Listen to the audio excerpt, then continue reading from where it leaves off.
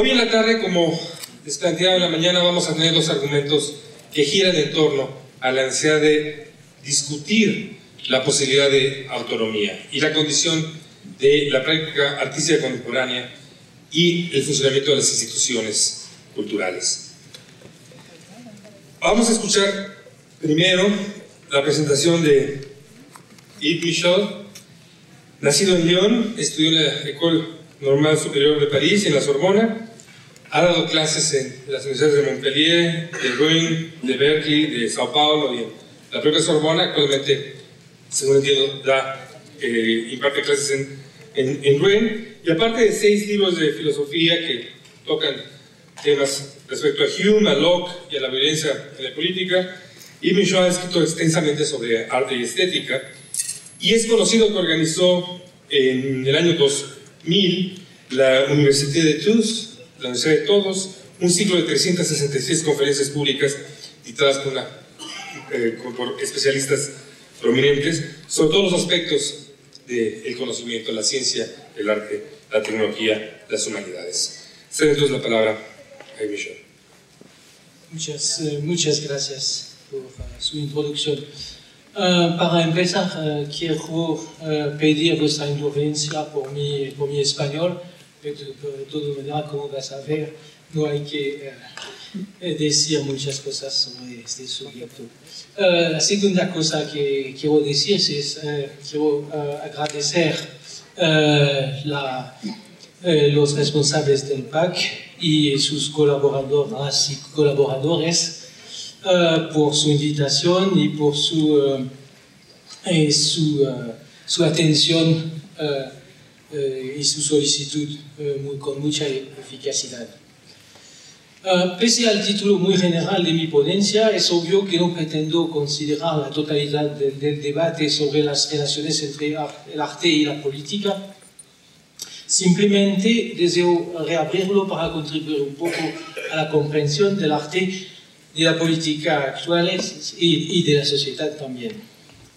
El artista de vanguardia del siglo XIX ocupaba eh, un doble lugar político. El compromiso político se realizaba a través del trabajo artístico y a través de la acción política misma. Por ejemplo, el pintor eh, Jacques-Louis David, con su compromiso estilístico neoclásico, rendía homenaje al estilo romano en el arte, pero también desempeñaba un papel como diputado de la Convención en la Revolución Francesa. Otro ejemplo de este doble involucramiento artístico y político es el de Gustave Courbet, pintor antiacadémico y militante de la Revolución de 1848 y luego partidario de la Comuna. Courbet se compromete al mismo tiempo contra el poder burgués en política y contra el poder académico en el arte. Esta forma de compromiso doble duró mucho tiempo entre los artistas. Los dadaístas de, de Berlín participan en el alzamiento revolucionario y de igual manera muchos constructivistas rusos militan al lado de los bolcheviques revolucionarios. Un poco más tarde, después de la Segunda Guerra Mundial, Picasso o Fernand Léger crean formas de vanguardia, pero van también, aunque no con demasiada frecuencia, a decir verdad, a las reuniones de la célula comunista del barrio, firman manifiestos, toman partido. El compromiso de los intelectuales existencialistas es también de este tipo. La forma de sus producciones intelectuales y su reflexión son, en principio, comprometidas como formas. Y por otra parte, sus opciones políticas hacen de ellos intelectuales comprometidos, firman manifiestos, hacen peticiones y actúan al lado de los militantes. Jean-Paul Sartre militó también junto a los opositores del colonialismo, luego junto a los jóvenes militantes maoístas en el diseño del de, 1970. Para el filósofo, el arte por el arte y el purismo son ilusiones culpables. El problema de este compromiso es doble, es que la coherencia entre los dos ámbitos no está lógicamente garantizada. Esto significa que el mensaje político que se envía no es forzosamente congruente con la forma y que el compromiso efectivo del individuo no necesariamente guarda relación con su compromiso artístico. La pintura de Picasso, uh, uh, primera diapositiva, por favor. ¿Podría bajar, ¿Podría bajar las luces también, por favor? No, está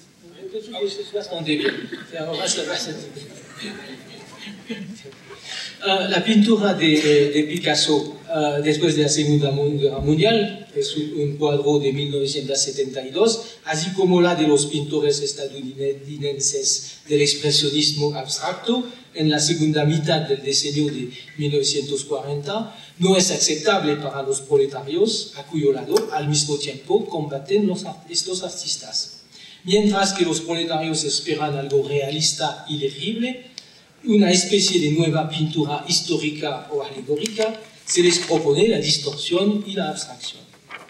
La, coherencia de los compromisos no está en modo alguno garantizada en el otro sentido. Quiero decir que las posturas políticas adoptadas no forzosamente armonizan con el quehacer artístico. Cézanne, segunda diapositiva, por favor, Cézanne era políticamente un reaccionario, encerrado en un conservadurismo de burgués provinciano, pero su pintura es profundamente revolucionaria desde el punto de vista de la historia de las evoluciones formales y abrió el camino al cubismo y a la abstracción. Este cuadro es de 1885. Ya a la, ya a la inversa, la producción realista socialista muestra que se puede ser estilísticamente muy convencional y tener compromisos políticos proletarios. Pense, pensemos aquí en André Fougeron, la tercera. La siguiente, por favor. Es un cuadro, un famoso cuadro de André Fougeron, mayor pintor por, por un, un, momento del Partido Comunista en Francia de uh, 1948. Uh, la siguiente, muy bien, está bien.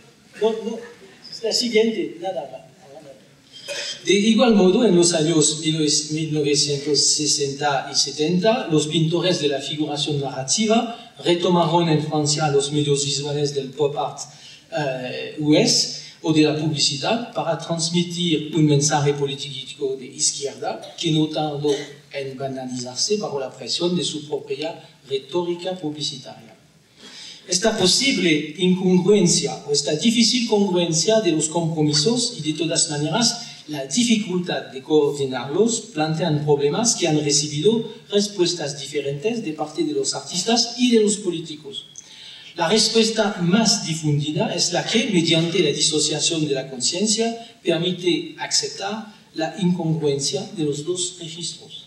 Formas artísticas sin contenido político, pero formalmente avanzadas, van entonces a ser consideradas políticamente comprometidas, al tiempo que la ausencia de compromiso político efectivo no incidirá en modo alguno en el juicio de compromiso. Tal es la tesis de la sublimación estética del compromiso político en el pensamiento de Greenberg cuando escribió uh, Vanguardia y Kitsch. Pollock es formalmente revolucionario y por lo tanto políticamente revolucionario. El conservadurismo eh, político fundamental de Cézanne y de Matisse y el apoliticismo de Duchamp van por lo tanto a borrarse ante la radicalidad de su quehacer artístico que los inmuniza contra la severidad del juicio político. Cuando llevamos esta lógica hasta sus últimas consecuencias, el hecho de ser artísticamente de vanguardia se convierte en el testimonio romántico de una eficacia política. Esta opción ofrece una gran ventaja. En lo esencial exime de plantearse la cuestión de la relación entre el público y la obra. El público no es más que un tercer auditorio torpe al que solo se puede, en el mejor de los casos, aspirar a educar. Como decía Greenberg en 1939, las masas prefieren el kitsch, que representa un sucedáneo de la cultura en forma de diversión. Eh, Jean-Paul Sartre, en un artículo de 1950 dedicado al artista y su conciencia, escribe sin pestañear. la citación, la revolución social exige un conservadurismo estético, mientras que la revolución estética exige, a pesar del artista mismo, un conservadurismo social. Comunista sincero, condenado por los dirigentes soviéticos, proveedor habitual de los ricos compradores de Estados Unidos, Picasso es la imagen misma de esta contradicción. En cuanto a Fougeron, la razón por que he mostrado el, el cuadro de Fougeron, sus cuadros dejaron de gustarle a la élite, pero sin despertar el interés del proletariado. Fin de la, de la citación de, de Sartre. ¿Qué sucede entonces cuando ya no se trata de una revolución ni de eficacia capaces de cambiar la vida o de transformarla? ¿Qué ocurre cuando ya no se puede imaginar a un público a quien dirigir un mensaje? Ese famoso pueblo que rondó los manifiestos revolucionarios o ese famoso proletariado que ronda la conciencia de izquierda. ¿Y qué ocurre también cuando las revoluciones, revoluciones formales se han multiplicado y banalizado al grado de que ya no emocionan a nadie.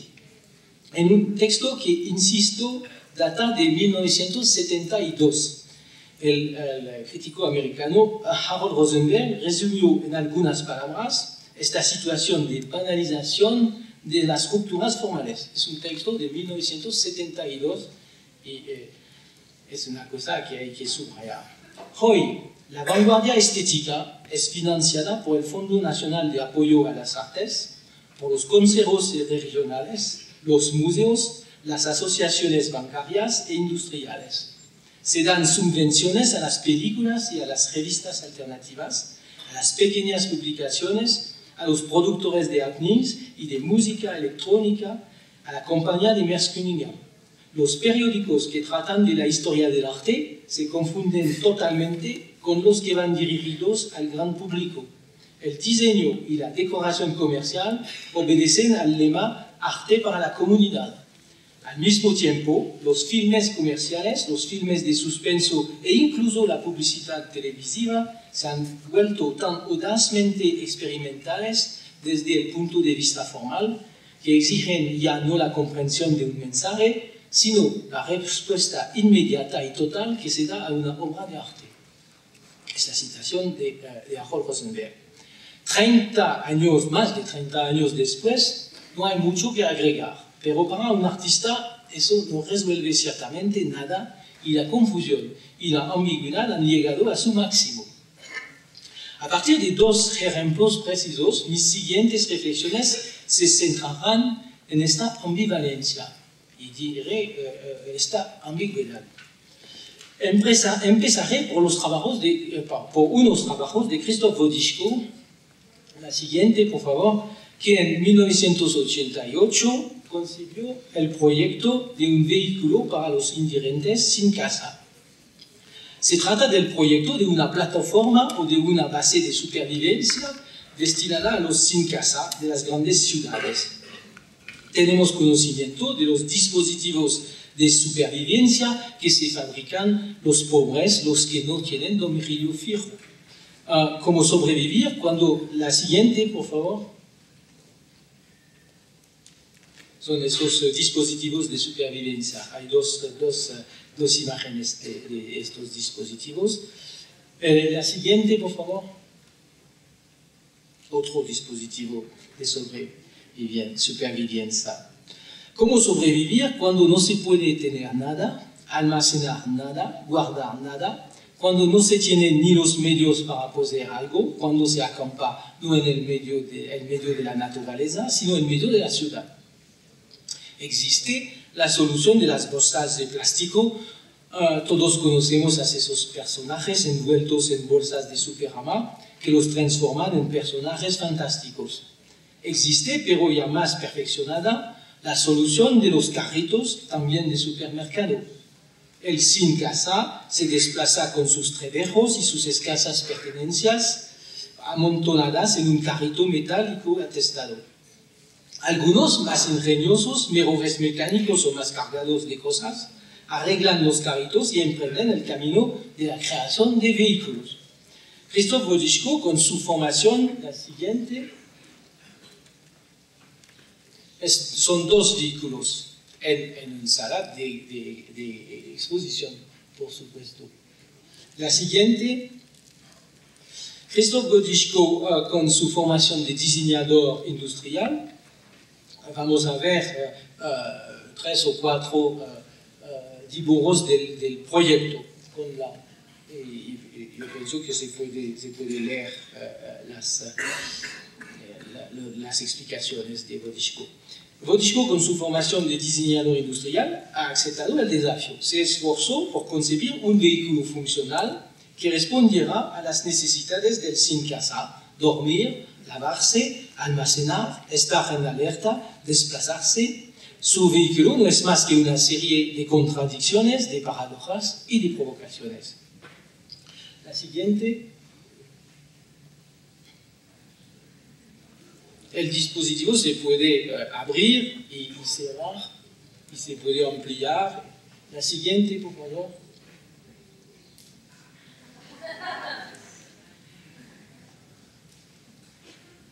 Y ahora la siguiente. Vamos a. Ahí está, un momento. Eh, y es que no queremos admitir que, que, el estado del sin casa pueda ser una situación permanente, una situación susceptible de mejorar sin desaparecer. En el ámbito de lo social, queremos ser ciegos una, manera de, de, de, una de las maneras de cerrar los ojos consiste en concebir las situaciones como todo o nada. La pobreza, la falta de vivienda no pueden existir. O bien se les suprime la extensión de la pobreza tal como prometen todos los programas políticos, o bien debe perdurar como tal. No se acondiciona lo intolerable, no al reformismo. El vehículo de Bodishko, concebido para fabricarse en serie y para servir efectivamente, lo que puedes ver, existe al contrario como la revelación provocadora de un estado social donde hay miles de indigentes sin casa, donde estos constituyen una población con sus necesidades, sus recursos y, por qué no, sus exigencias. Su, vehículo funcional, ingenioso y económico, con sus compartimentos de almacenaje y dormitorio, su mínimo de servicios sanitarios, ejemplifica y presenta en forma evidente y concreta una situación anormal que no puede considerarse una simple anomalía, sino que debe tomarse en cuenta como uno de los aspectos de la vida social moderna en general. Evidentemente, imaginamos mal, o mejor dicho, con enorme malestar, la proliferación de esa clase de vehículos, que en el corazón de las ciudades crean embotellamientos y atascos de pobres, de pronto muy visibles, de pronto también un poco menos desprovistos, pero por esto mismo también consolidados y estabilizados en su situación. Y por qué no, uh, casi pudientes. Imaginamos con el mismo enorme malestar las cadenas de producción de semejantes vehículos, el reconocimiento de un mercado de la pobreza y en el que podrían venir a instalarse quizás agentes y con el tiempo especuladores. El negocio de la, pero todos sabemos que el negocio de la, de la caridad existe. El negocio de la caridad podría encontrar allí, ¿por qué no?, un nuevo impulso. Vodisco desplaza el problema también de otras maneras, de otras maneras, dando a los sin casa la autonomía relativa del desplazamiento y de la supervivencia, dándoles también una visibilidad central a ellos que siempre han sido confinados a los márgenes, los márgenes de la caridad, de la asistencia, de la ciudadanía y de la legalidad. Y finalmente, la siguiente, desplaza el problema proponiendo como arte aquello, aquello que se niega tajantemente a serlo. Siguiente, son varias, uh, varios ensayos del vehículo en Nueva York con uh, varias ciudades. La siguiente, la siguiente, no, ¿puedes regresar, por favor? Sí, está bien, gracias. ¿Cómo imaginar uh, un vehículo semejante con categoría de obra de arte? Pero fue eh, eh, la, la, la, primera imagen. pieza única para un coleccionista rico y provocador, o pieza valerosa para un museo comprometido, y, ¿por qué un insulto don Juanesco a los pobres? La provocación tiene algo tan suave como implacable. En 1992, Christopher Dischko desarrolló un otro proyecto, el de eh, Alien Staff, The Alien el bastón del extranjero. La siguiente, por favor. Es el, el, Alien Staff as uh, obra de arte. Durante su estancia en París, uh, Bodisco concibió para los inmigrantes una especie de bastón tecnológico que podría permitir su ingreso en la comunicación. Se trata de un dispositivo de video en miniatura que se coloca en la parte curva de un bastón, bastón de aluminio y se conecta a un pequeño magnetoscopo que lleva el portador al cinturón.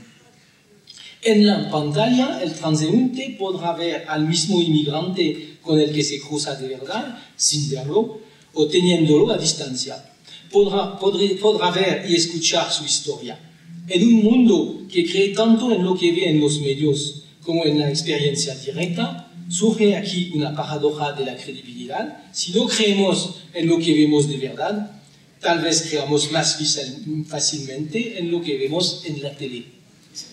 Bodisco cuenta también con el efecto de la doble imagen y el doble discurso, no para que se opongan, sino para que de comienzo un proceso de acercamiento, la imagen de video debería atraer la mirada hasta el momento en el que el transeúnte efectivamente se acerque y compruebe que lo que ve en la pantalla es el mismo inmigrante que ve al sostener el bastón, el mismo rostro que ve en la imagen y en persona. Se trata aquí también de volver sobre un desplazamiento y de salvar una distancia, de instaurar una comunicación en el mundo en el que sabemos aceptablemente bien lo que es la comunicación cuando se trata de vender slogans o detergentes, pero en el que no nos volvemos tímidos en cuanto se trata de dirigirse a los otros en su calidad de otros. Pero, como sabemos todos, la sociedad no se deje de desbordar y no se deje desbordar y ajuste sus funciones de recuperación. Así se crea la versión social del servicio de ayuda médica de urgencia, destinado por ejemplo en Francia, a hacer el seguimiento de los excluidos, a ofrecerles cuidados, alimentación, alojamiento, se organizan dispositivos de alerta en caso de un frío intenso o de una ola de calor. También se sensibiliza a las buenas conciencias, a la suerte de los desdichados, por medio de campañas publicitarias de choque en beneficio de las organizaciones no gubernamentales. ¿Cómo debe situarse el arte en relación con esta recuperación incesante y finalmente triunfante, volviéndose, volviéndose también ambiguo? Voy a demostrarlo ahora en el caso de un artista como Denis Adams, eh, pero lo mismo vale por, para Jeff Wall o Andrés Serrano cuando proponen los retratos de, de los desdichados. La, la siguiente, por favor. Es otra otra, otra vista del, del, del uh, Alien Staff.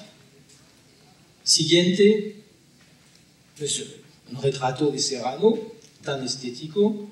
Otro, siguiente, Jeff peor. El siguiente.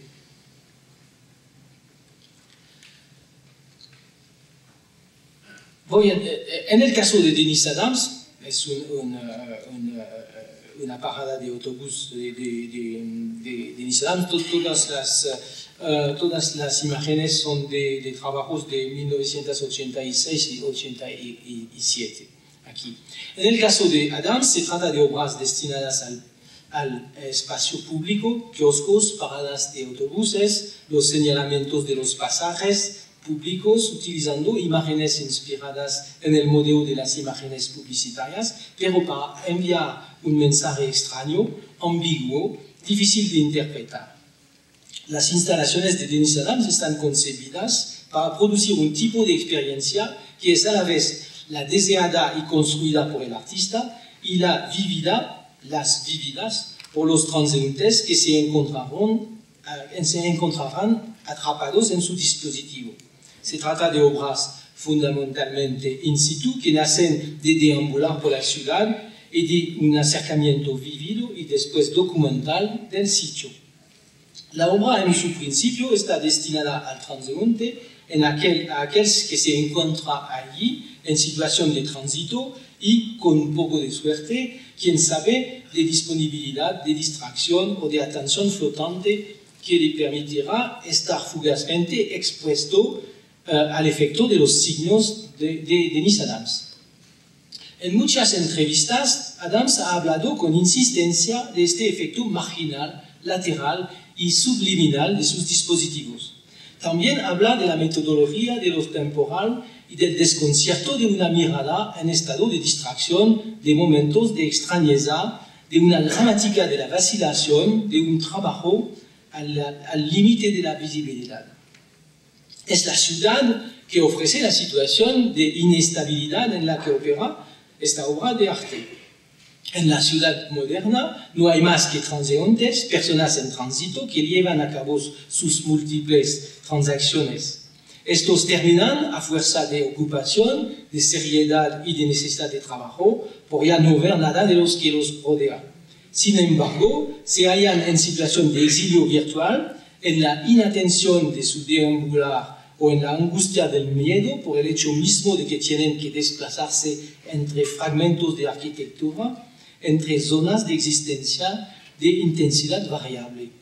Denis Adams ha descrito con una frase esta situación, en la ciudad solamente hay configuraciones múltiples y cambiantes de identidades desplazadas.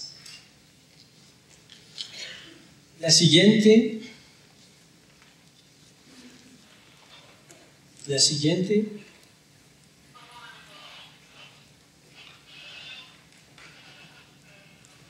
la siguiente, pero solo hay que las cosas pueden salir mal y bastante mal. Eso es el retrato del abogado Vergés, un abogado francés, que Adams coloca en una parada de autobús en Alemania y es en efecto también el defensor de, de los militantes argelinos del Frente Nacional de Liberación durante la guerra de Argelia. Pero es del mismo eh, modo el retrato de un hombre muy ambiguo, uh, del defensor en Francia uh, del nazi Klaus Barbie, de un antisemita convencido uh, cuyo rastro se perdió durante una decena de años al lado de los soldados, soldados rojos camboyanos de Pol Pot. En otras partes, Adams, la otra, la siguiente, por favor. En otras partes, uh, Adams fijará carteles con imágenes de la guerra de Argelia, pero ¿qué quieren decir? Más allá de un drama colonial, también se trata ahora eh, que el tiempo ha pasado de la opresión de las mujeres, del imperialismo en general, incluso del integrismo. Si los dispositivos de Denis Adams apuntarán solamente a reproducir la ambigüedad generalizada de todas las emisiones e interferencias eh, de, uh, de nuestro universo, estaríamos tentados de, a responderle a la manera de Virginia Woolf el arte no es una copia del mundo real, uno de los dos es más que suficiente. Esta respuesta no deja, no, deja de ser seria. Nos preguntamos por qué sería necesario que los mecanismos más simplistas y más embrutecedores de la publicidad y del acondicionamiento urbano fueran sublimados en el arte y viceversa. Ya no tenemos que Benetton o Armani sublime a Alfredo Yar, siguiente, ni que Kruger uh, sublime los diarios luminosos alquilados por las ligas en contra de la venta libre de armas personales. Siguiente es uh, Alfredo Yar. ¿eh? Es Alfredo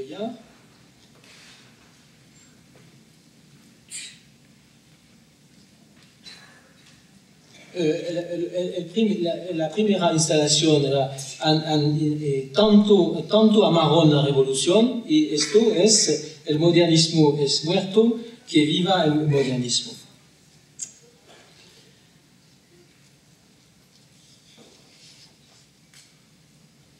La siguiente.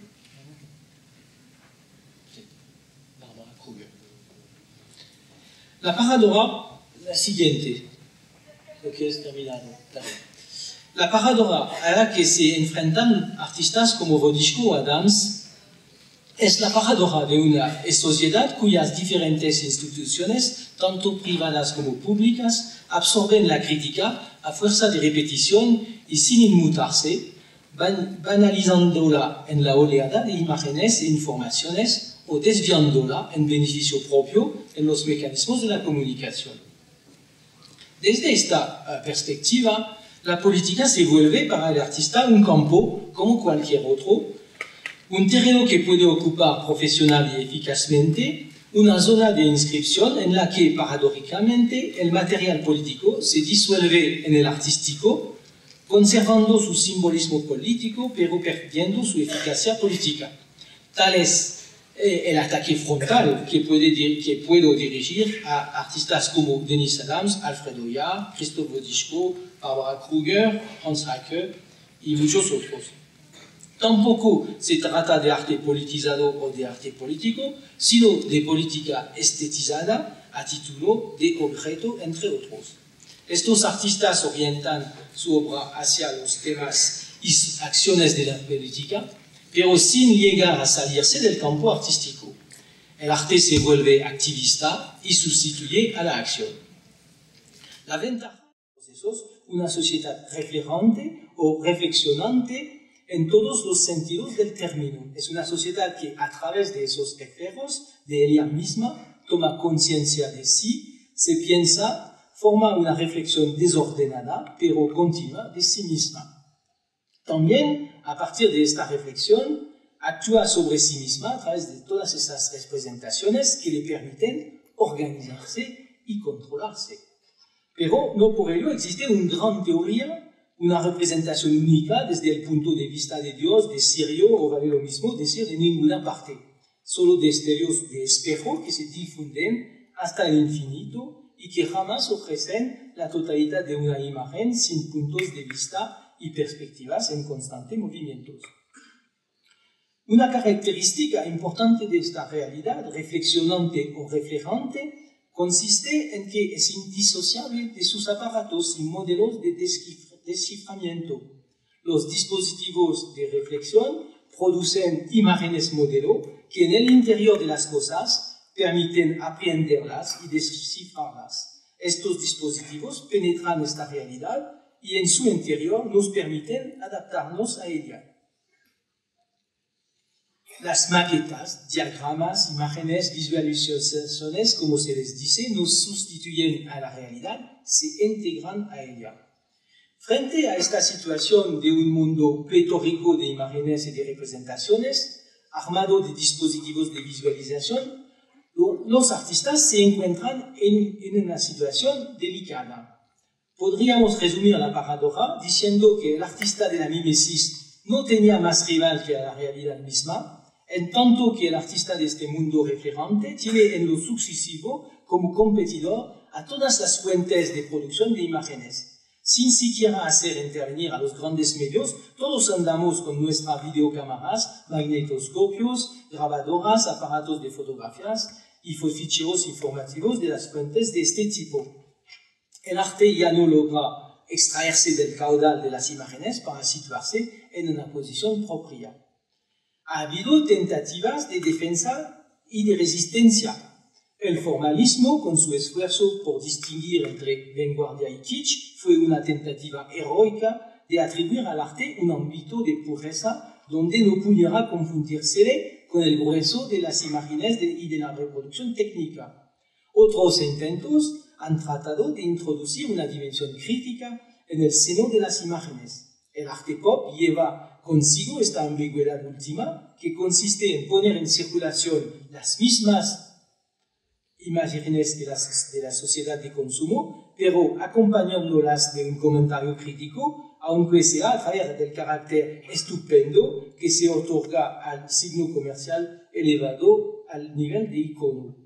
Pero los fracasos de esta búsqueda de dimensión crítica son visibles en la necesidad en que se halla el arte postmimético de garantizar su naturaleza crítica mediante su confinamiento a los lugares de celebración como los museos o los institutos de vanguardia que diferencian de manera elitista lo que no es fundamentalmente diferente del grueso de las imágenes de la publicidad, de la prensa, de la televisión, de la industria cultural, sino por las etiquetas que se les pegan. De hecho, los artistas vuelven a encontrarse ante uh, la paradoja de una sociedad cuyas diferentes instituciones, tanto públicas como privadas, absorben reiteradamente y sin inmutarse la crítica y la toma de posición banalizándola en la oleada de imágenes y de informaciones o desviándola en beneficio propio de los mecanismos de la comunicación. La, la paradoja de una sociedad donde toda imagen crítica y distanciada está en vía de recuperación por el sistema de las imágenes que absorbe sin descanso todo aquello que pretende primero escaparse de. Mondrian se vuelve tema de telas, Picasso vende los perfumes y pañoletas de Paloma Picasso y, y, y coches ahora. El arte ya no está en situación de expresar una opinión crítica que sea más perceptiva, más lúcida, que ayudaría a ver mejor. Ya no puede situarse en una posición particular que le permita percibir mejor y por lo tanto hacer comprender, denunciar, modelar. Cada imagen pretende hacer ver mejor que otra por la simple, simple razón de que es nueva.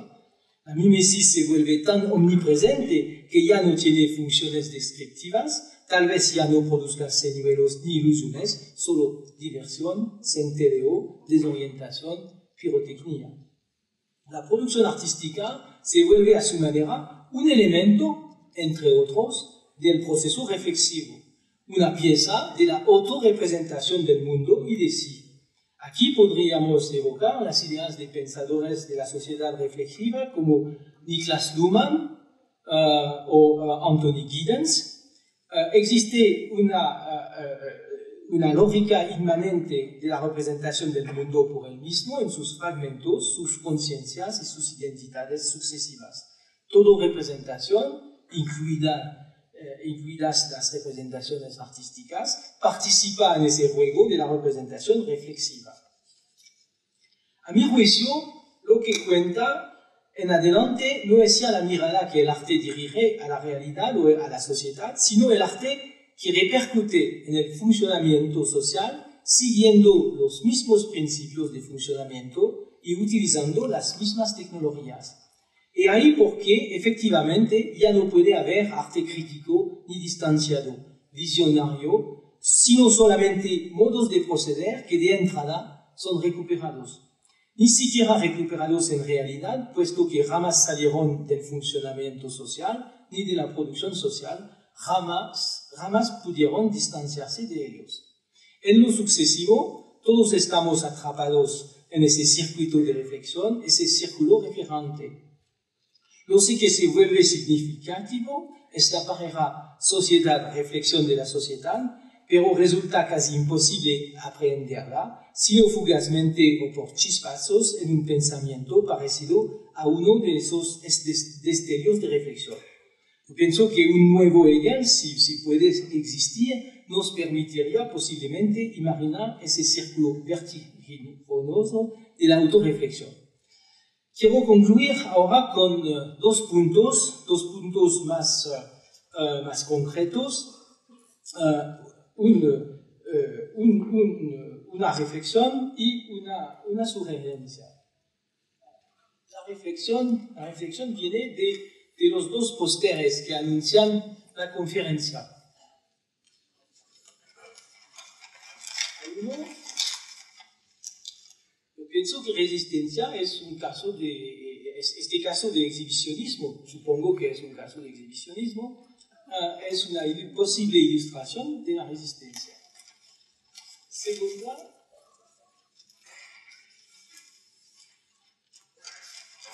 que hayas visto esto, uh, esa im imagen de, de, resistencia es, es de hecho el, uh, un, doc un documento de reportaje y es el cerebro del atentado de, de Bali de, del año pasado. Es, es, interesante de ver que cuando un, uno, un artista gráfico eh, quiere, quiere ilustrar uh, la resistencia, elige dos casos diferentes pero muy, muy similares también. El terrorismo, una imagen de terrorismo que es un, una resistencia radical y la, la contradicción total y completa, y un caso de resistencia, lo diré, sexual y perversa, porque en términos de, de psicopatología, el exhibicionismo es, un caso de perversión. Es muy interesante de, de reflexionar sobre esto? No, no, ten, no hay crítica en, mi, uh, en uh, lo, que, lo que digo, es solamente una reflexión sobre dos, posibles ilustraciones de la resistencia hoy. Y uh, el problema es que debe, será interesante de, de, de, reflexionar sobre es posible de, de, de producir imágenes de la resistencia. La segunda, mi segundo punto es, un, una, sugerencia. Y si, ustedes habían seguido lo que he dicho, de, ustedes pueden comprender lo que mi sugerencia es cambiar este póster, este póster completamente y poner, reemplazar resistencia por arte contemporáneo, patronizado por patronizado por PAC, la Conaculta, Pancomer, Fundación Televisa y, y, y, y momento, y eh, una nueva firma eh, multinacional que se llama Resistencia.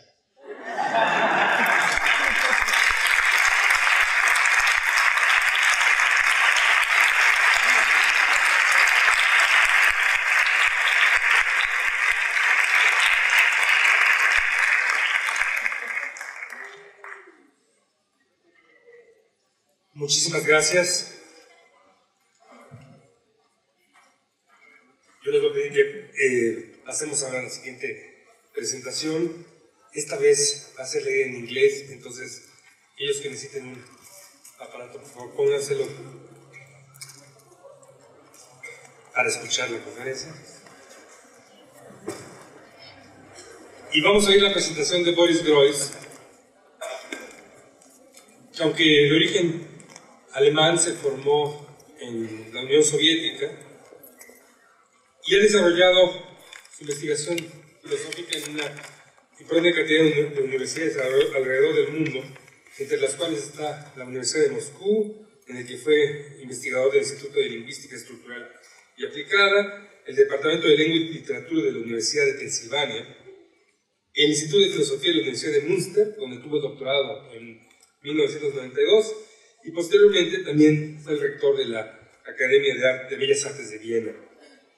Gross, como ustedes seguramente saben, ha publicado una diversidad de libros, entre los que quizá destacan la obra de arte total de Stalin, que fue traducida a cinco idiomas, y el libro sobre el arte de la instalación que hizo en colaboración con Ilya Kabakov. Por favor. Thank you. I would like also thank uh, the organizers and the sponsors too uh, of this event, of this conference. And uh, I won't show any slides. I try to present to you kind of uh, abstract reflection on the relation between art and resistance and uh, a guiding question is, can be art kind of source or origin of resistance as art as such? In order to be able to resist an external oppression of any kind, we have to have at our disposal an internal, autonomous power that we can use against this external repression. And in order to have a will to resist, we have to have our own goals ideas, principles, or at least our own territory, which we are ready and willing to defend. So the following questions arise. Has art such autonomous goals or ideals of territory which are hers to be defended? And has art an autonomous internal power of resistance that can be used against an external oppression, on external aggression? All of us know that the autonomy of art was put in question and actually denied by many recent art theoretical discourses. If these discourses are right, it would mean that art could not be an origin or a source of any resistance to anything. Rather, art could be used only as a means, as a tool for a political struggle in the name of different political forces, ideals, and principles. So really to be involved in the real struggle as it takes place and as having source outside of our territory itself if our has such a territory. So we can say that art could be used merely for designing, for aestheticizing certain emancipatory or oppositional political movements, as it was always already used for designing and aestheticizing the powers to be. In this case, art would be only a supplement, a supplement, used the term introduced by Derrida, of a political power, so that art could be eventually used for the deconstruction of certain political claims and attitudes, but surely not as a means of active resistance against them. This seems to be the crucial question. Has art power of its own, or is it only a supplementary power? That is why the question of the autonomy of art is, at least from my standpoint, the central question that should be answered in the context of a discussion on the relationship between art and resistance. And my answer to this question is yes, we can speak about the autonomy of art, and yes, art has an autonomous power of resistance. Of course, I don't believe that existing art institutions, art system, art world, art market, whatever name you have for that, art can be autonomous. The functioning of the existing art system is namely based on certain aesthetic value judgments certain criteria of choice, rules of exclusion and inclusion, etc. All of these value judgments, criteria and rules are of course not autonomous. Rather, they reflect the dominating social conventions and power structures. We can say there is no purely, there doesn't exist a purely aesthetic art immanent autonomous value judgment that could define and regulate the art system in its entirety and guarantee its autonomy. This insight brought many artists and theorists to the conclusion that art as such is not autonomous, because autonomy of art was and still is thought as dependent on the autonomy of the aesthetic value judgment. So if you don't have something like independent autonomous aesthetic judgment, to value art of world, then uh, we should not speak, we may not speak about the art autonomy. But I would suggest that it is precisely this absence, or maybe this suspension of any immanent purely aesthetic value judgment that guarantees the autonomy of art. The autonomy of art is not based on the autonomous hierarchy of taste and aesthetic judgment, rather, it is an effect of suspension of abolishing any such hierarchy and establishing a regime of aesthetic equal rights for all art works. It means that art as such is a socially codified manifestation of a fundamental equality between all existing and virtual visual forms and media. only against the background of this fundamental aesthetic equality of all artworks, every value judgment, every exclusion or inclusion can be potentially recognized as a result of heteronomous intrusion of political or economical forces into the autonomous sphere of art.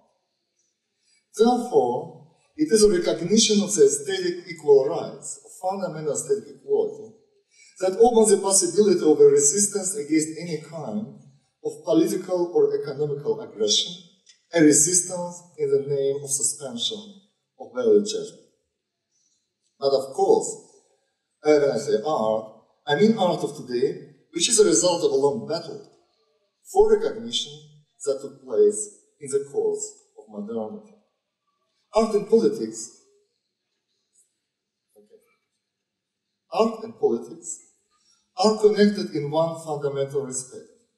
Both are areas in which a struggle for recognition is being waged.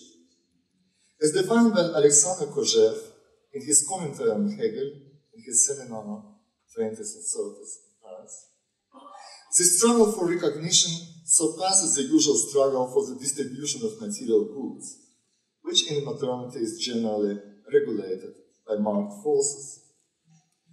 What is at stake here is not merely that, uh, that a certain desire is satisfied, but it is also be recognized as socially legitimate. Whereas politics is an arena in which various group interests uh, have, both in past and present, fought for recognition, Artists of the classical avant-garde have already contended for recognition of all individual forms and artistic procedures that were not previously considered legitimate. In other words, the classical avant-garde has struggled to achieve recognition for all visual signs, forms, and media as legitimate objects of artistic desire, and hence also of representation in art. Both forms of struggle for recognition, political and state, are intrinsically bound up with each other, and both have as their aim a situation in which all people with their various interests, as indeed also all forms and aesthetic procedures, will finally be granted equal rights. Indeed, as I already said, already the classical avant-garde has opened up the infinite horizontal field of all possible pictorial forms, which all lined up alongside one another with equal rights. So we can speak about a difference, about politics of difference, only if this difference in politics of difference takes place in a field of fundamental equality, uh, aesthetical equality, which is based on kind of universal gesture of suspension of, uh, of aesthetical judgment. So this, this um, uh, politics of uh, difference is utterly dependent on this uh, fundamental uh, universal gesture, which as such cannot be differentiated in any reasonable one after another, so-called primitive art, abstract arts, abstract forms, simple objects from everyday life, have all acquired the kind of recognition that once only used to be granted to the historically privileged artistic masterpieces. This equalizing art strategy, art practice, has become progressively more pronounced in the course of the 20th century, to the same degree as the images of mass culture, entertainment, and kitsch have been accorded equal status inside the traditional fine art context. Now this politics of equal aesthetic rights, this struggle for aesthetic equality between all visual forms and media, that modern art has fought to establish wasn't still even known. Frequently criticized as an expression of cynicism and paradoxically enough, of elitism. This criticism was directed against modern art from the right and from the left, so that modern art was criticized for a lack of genuine love for eternal beauty, and at the same time for a lack of genuine political engagement. But in fact, the politics of equal rights on the level of aesthetics is a necessary precondition of any political engagement. Indeed, the contemporary emancipatory politics is a politics of inclusion, directed against the existing exclusions of the cultural, ethnical, or economical minorities. But this struggle for inclusion is possible only if the visual science and forms in which the desires of the excluded minorities manifest themselves are not rejected and suppressed from the beginning by any kind of aesthetic censorship operating in the name of higher aesthetic values.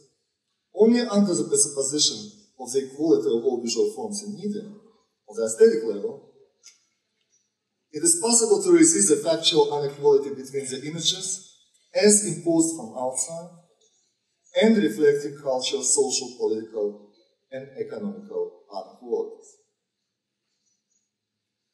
As Kojève already pointed out, the moment uh, when the overall logic of equality underlying individual struggles for recognition becomes apparent, creates the impression that these struggles have to some extent surrendered their true seriousness and explosiveness.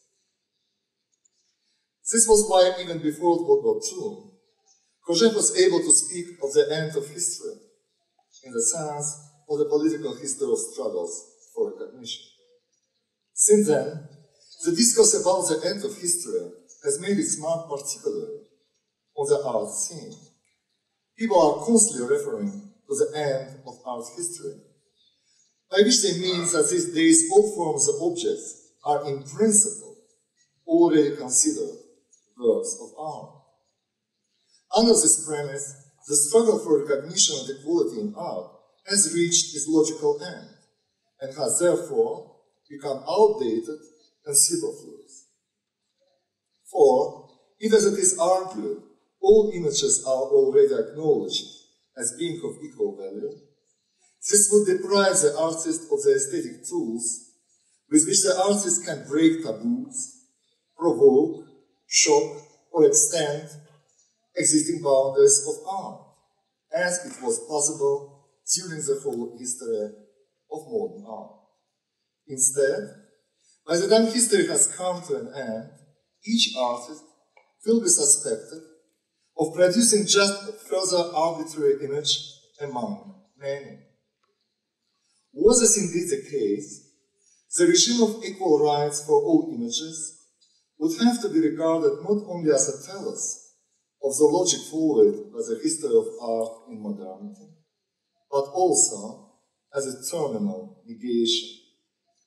Accordingly, we now witness repeated waves of nostalgia for a time when individual works of art were still revered as precious singular masterpiece or still was able to provoke. On the other hand, many protagonists of the art world believe that after the end of art history, there is no more difference between good art and bad art. The only criterion now left for measuring the quality of individual work of art appears to be the art market. Or the artist can deploy his or her art as a political instrument in the service of continuing political struggles, as an act of political commitment.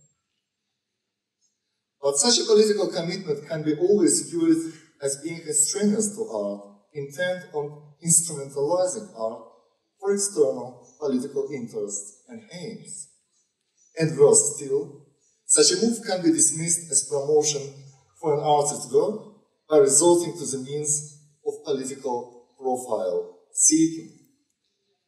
If Zola today would write J'accuse, somebody will ask him if his book, uh, books become uh, more uh, successful and better sold after that.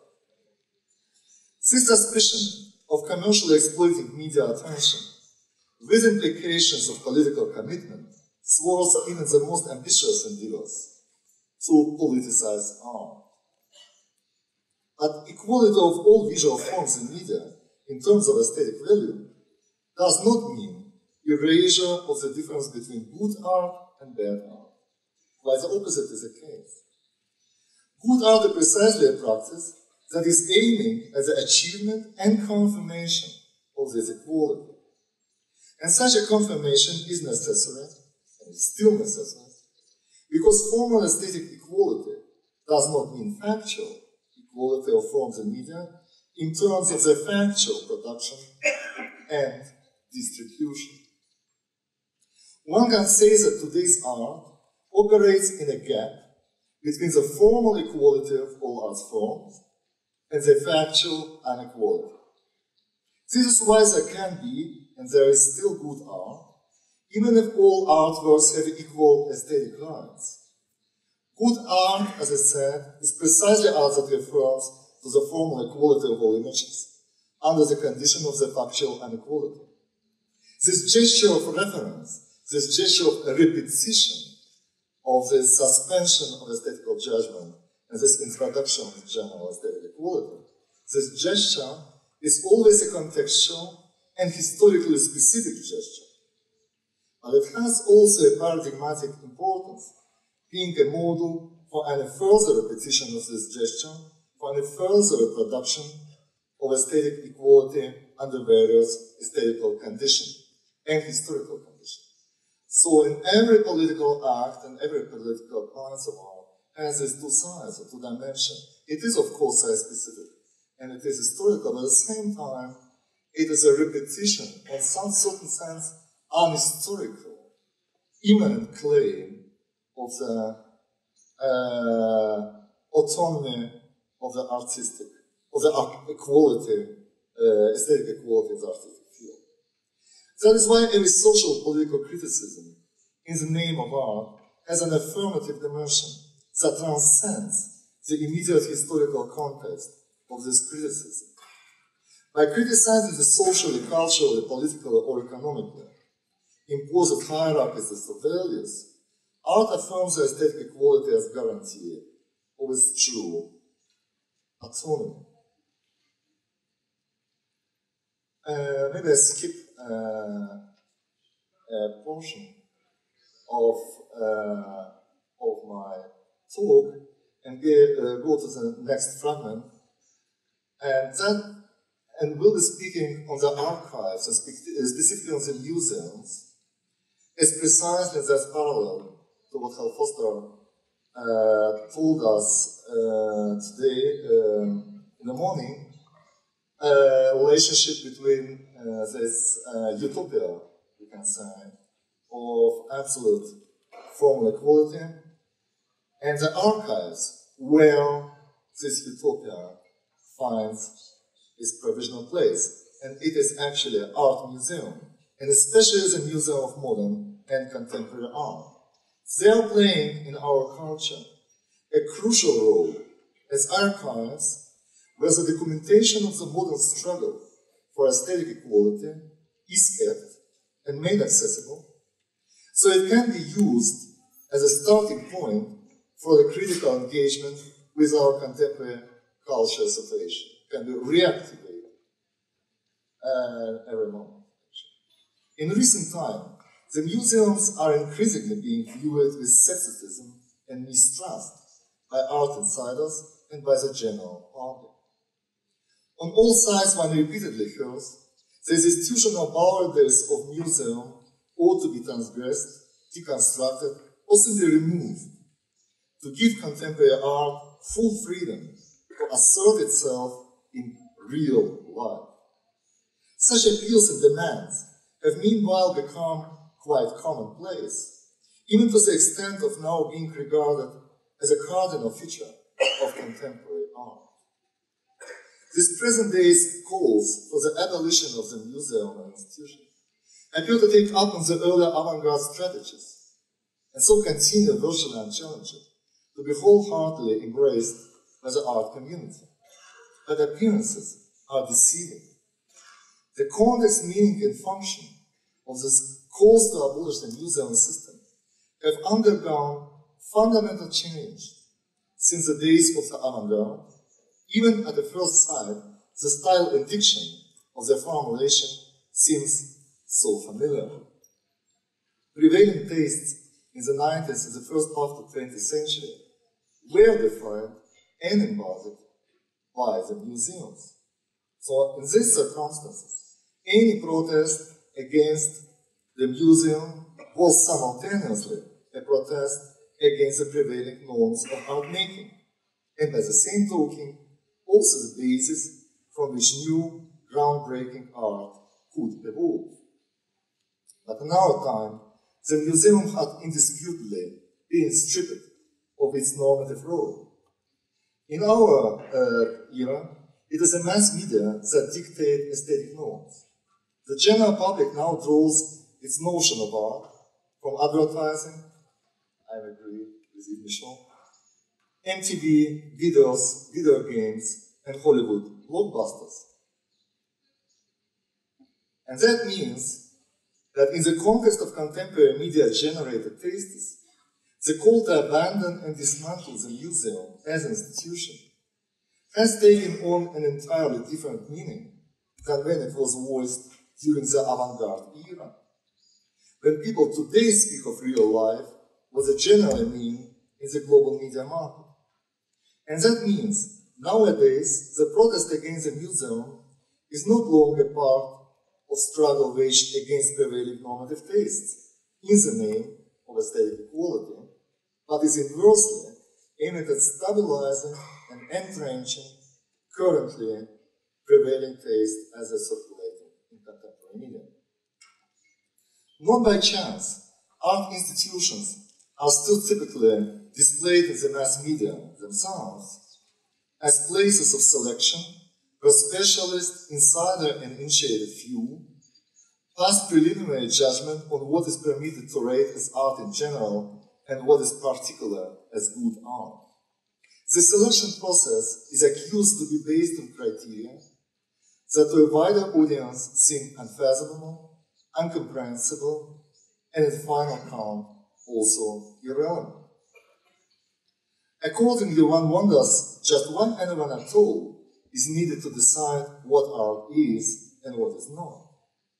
Why can't we just choose for ourselves what we wish to acknowledge and appreciate as art without recourse to an intermediary, without patronizing advice from curators and art critics? Why does art refuse to seek legitimation on the open mass media market, just like any other product? From a mass media perspective, the traditional aspirations of the museum seem historically obsolete, out of touch, insincere, and even somewhat bizarre. Actually, I always enjoy very much the crime stories, uh, uh movies, yeah, the crime movies, uh, with uh, that plot uh, taking place uh, in the museum. if you're looking at the TV, uh, you, you very often see such, such movies. And the curator is almost always a killer. That's, that's, that's very interesting. Museum director, uh, without uh, any exception. Uh, actually, just to, to, to, to, tell a story that impressed me very much, I saw uh, such a movie, such a crime movie. And there was two guys, one was architect and uh, other was an uh, artist. And uh, both were in love with a girl, and she actually loved the artist. And then it was unclear what happened. It was unclear and almost at the end. And then some point in time, a police officer just asked the girl, who's the killer? So follow your intuition. And she says, of course, the artist. He says, why? He said, because art, architect makes something for the people, and artist does not. So, contemporary art itself, time and again, displays an eagerness to follow the enticements of the mass media age, voluntarily abandoning the museum in the quest to be disseminated through mass media channels. Of course, this readiness on the part of art to become involved in the mass media, in broader public communication and politics. In other words, to engage in life beyond the boundaries of the museum is quite understandable. This approach allows it to address and seduce a much larger audience. It is an economically effective way of earning money instead of begging for it from the state of private sponsors, which is humiliating. This circulation constantly fed with images of war, terror, catastrophes of all kinds, of all level of production with which the artist with his artisan skills cannot compete. And in the meantime, politics also shifted to the domain of media-produced imagery. Nowadays, every major politician, or rock star, or TV entertainer, or sport hero, or terrorist, generate thousands of images through their public appearances, much more than any living artist. At first glance, this diversity, the scope of the mass media images, may appear to be immense, if not almost immeasurable. It seems that the artist, this last craftsman of present-day modernity, stands no chance of rivaling the supremacy of this image-generating machines. But in reality, the diversity of images circulating in the media is highly limited.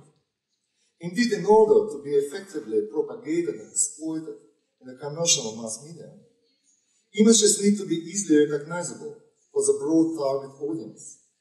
This makes the mass media, artistically speaking, extremely tautological. The variety of images circulating in the mass media is therefore vastly more limited than the range of images preserved in the museums of modern art or produced by contemporary art. That is why it is necessary to keep the museums and general art institutions as places where the visual of the contemporary mass media can be critically compared to the art heritage of the previous epochs, so that our contemporary art and society can practice some kind of self-criticism. Where we can discover artistic visions and projects pointing towards aesthetic equality with our contemporary mass media ostensibly lab. And uh, but first of all, the global but first of all, the global media market lacks the historical memory which would enable it to compare the past with the present. The old product range in the media market is constantly being replaced by new merchandise, barring any possibility of comparing what is in offer today with what is used to be available. As a result, media commentary has no choice but to turn to fashion. So the uh, contemporary art and modern art gives us a possibility of comparison that contemporary media, in a very characteristic ways, prevent us to have. That also explains why the assessment and selection criteria in the context of the art museum shows so frequently differ from those that prevail in the mass media. The issue here is not that curators and art initiators have exclusive and elitist tastes quite distinct from those of the broad public, but that the museum offers a means of putting in question the dominating contemporary mass media taste and fashion, but comparing them to the radically egalitarian projects of artistic modernity. I think that's a very important point. Because artists and curators are now are really terrorized by it's clear that contemporary art is elitist and non-democratic, and that the criteria of choice is incomprehensible. It's not true. They are completely comprehensible if people are ready to make the same work of comparison that these artists and curators uh, made. Of course, we should not trust them. Uh, the opposite is a form, uh, is a uh, is a case.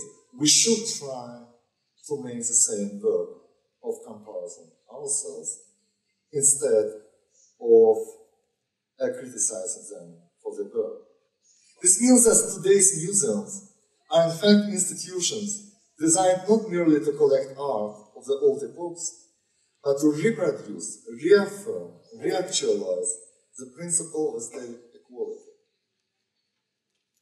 As a starting point for museal self-criticism, as well as a criticism directed against the aesthetic inequality practiced by contemporary mass media.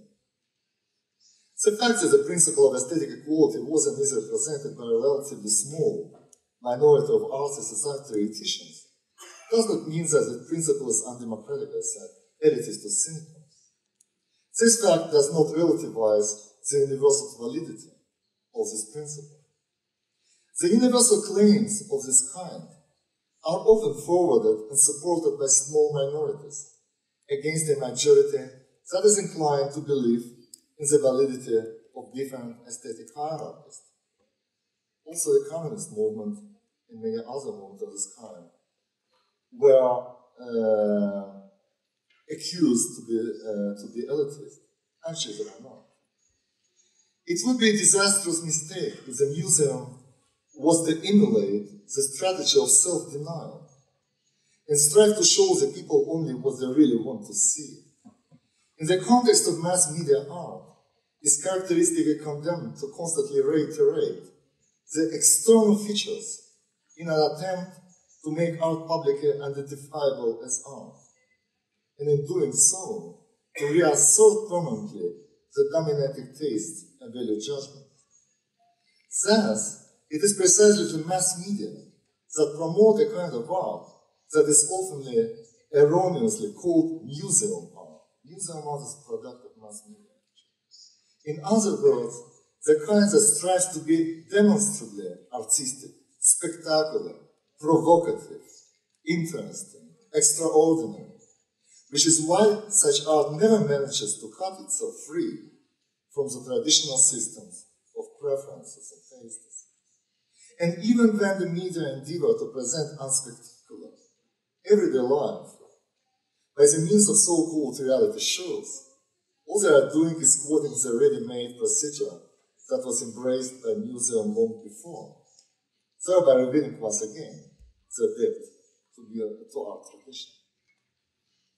So the context of the mass media art museum as place in historical archives and place of historical comparison between past and present, between a regional promise and the contemporary realization, are the almost only available places in our culture for a serious critical discourse.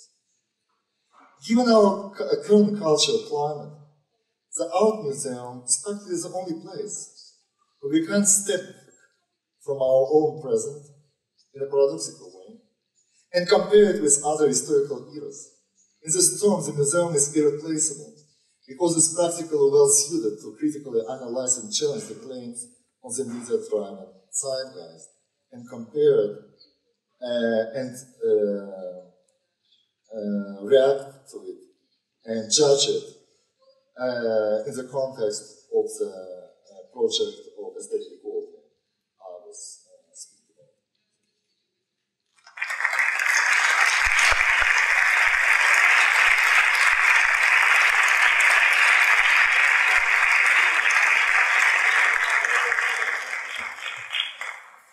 Bueno, creo que tenemos muchísimo que discutir, desgraciadamente nada más tenemos una hora para hacerlo.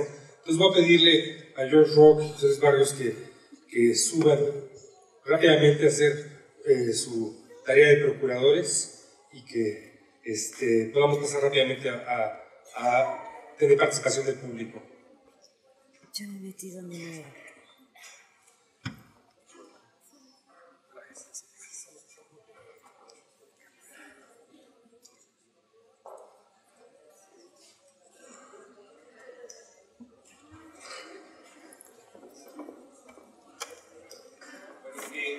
En virtud de que mm, nos piden ser muy puntuales eh, y en relación a lo que se planteó en la mañana, eh, creo que eh, con esta mesa surge, cuando menos intentaron categorizar, hacer una generalización como un punto de partida para, para la discusión, Si la resistencia de alguna manera eh, en la primera parte se, se, planteaba a partir del principio eh, de, la, de la diferencia, ahora se plantea, parece que como un proyecto que retoma, yo siento en ambos casos, uno de los grandes proyectos de la modernidad, que es el, el principio de la crítica.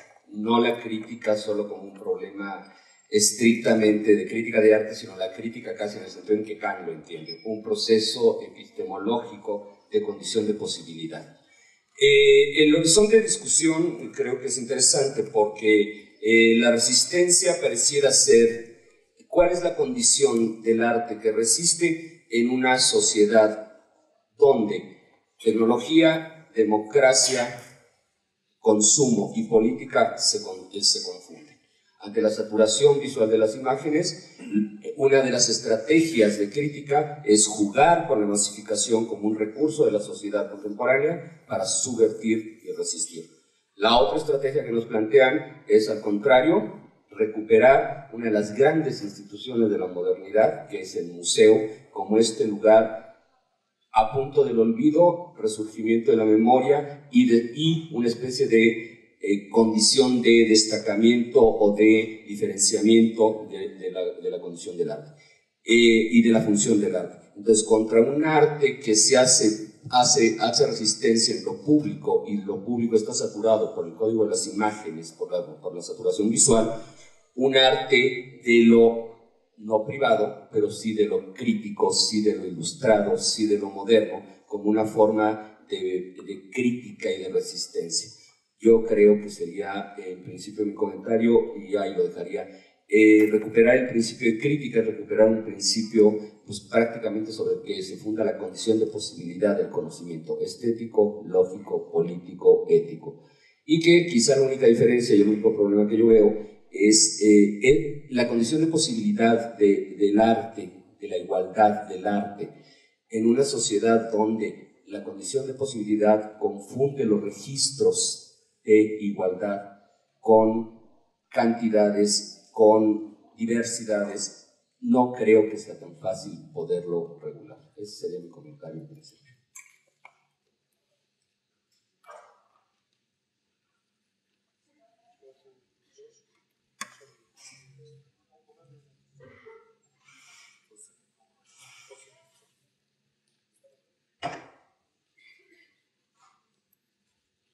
Entonces, otro, eh, dos comentarios muy breves. Uno es acerca de, de cómo un, cambio en, en, la manera de, de, plantear ese, todo ese asunto de, resistencia. Lo que a mí me llama mucho la atención es que hace como 20 años la gran palabra era, o el gran concepto era el de recuperación. Entonces todo, todo giraba acerca de eso, ver hasta qué, hasta qué punto el arte puede evitar la recuperación por parte del, del, sistema. Y ahorita una de las preguntas es hasta, hasta qué punto con la idea de resistencia estamos todavía en el mismo ámbito o si se haya cambiado el, el enfoque. Y eh, el otro comentario es, hoy en la mañana hemos hablado mucho acerca de resistencia, pero sobre todo desde una perspectiva más bien filosófica y, y estética. Una de las preguntas que se plantean ahora es eh, hasta qué punto y cómo se puede diferenciar resistencia en términos, de, en términos políticos y resistencia en términos artísticos. Porque eso es una de las cosas que se han planteado, es decir, que eh, el asunto de arte bueno y arte malo, cómo, cómo se vincula con la idea de resistencia y cuál es la diferencia y hasta qué grado hay todavía una diferencia entre una forma de activismo político uh, fuera entonces de preocupaciones directamente estéticas y la necesidad dentro del marco del arte de, de, plantear también problemas uh, no solamente de resistencia pero también problemas estéticos para, para ser muy breves.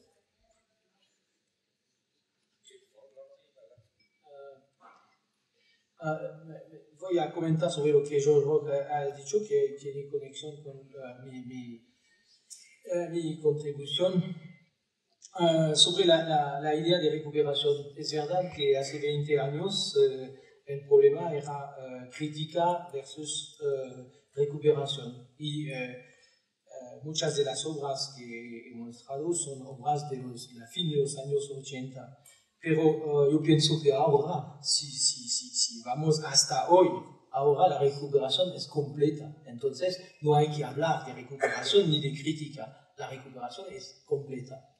La identificación arte, arte crítica y arte sociedad de crítica es completa. Es mi, una, de mis tesis. Uh, y es también una recuperación, uh, uh, diré, de, de, conte, de, contenido y de, y de objetos. Por ejemplo, esta mañana hemos visto una, una instalación de caramelos. Es exactamente lo mismo que puedes ver en una tienda de caramelos. La única diferencia, si vas en el centro comercial, al lado hay un montón de caramelos también. La, la, la única diferencia es que hay un, un proceso uh, de definición del, del, del acontecimiento artístico que dice, cuidado, es arte, no es una tienda de caramelo. Punto final, nada más. Y todo, toda la institución artística, uh, el, el, museo, la galería de la vanguardia, si, si, si, si, si podemos hablar de vanguardia hoy, pero, pero continuamos a hablar de vanguardia, uh, es, es, siempre lo mismo, un proceso de, uh, de insulación y de, y de sí, de insulación y de delimitación de algo que, que se puede ver en la realidad normal. Entonces, uh, ayer fuimos a varias galerías y, uh, y fue muy, mucho, muy impresionado por el facto que los ruidos en la galería, que eran parte de las instalaciones y, y, y muy pensados, eran exactamente lo mismo que puedes entender en la calle o, en una party, una, exactamente lo mismo, pero era arte con la definición, la entrada, la indicación, y era exactamente la, el proceso de definición. Entonces, yo digo,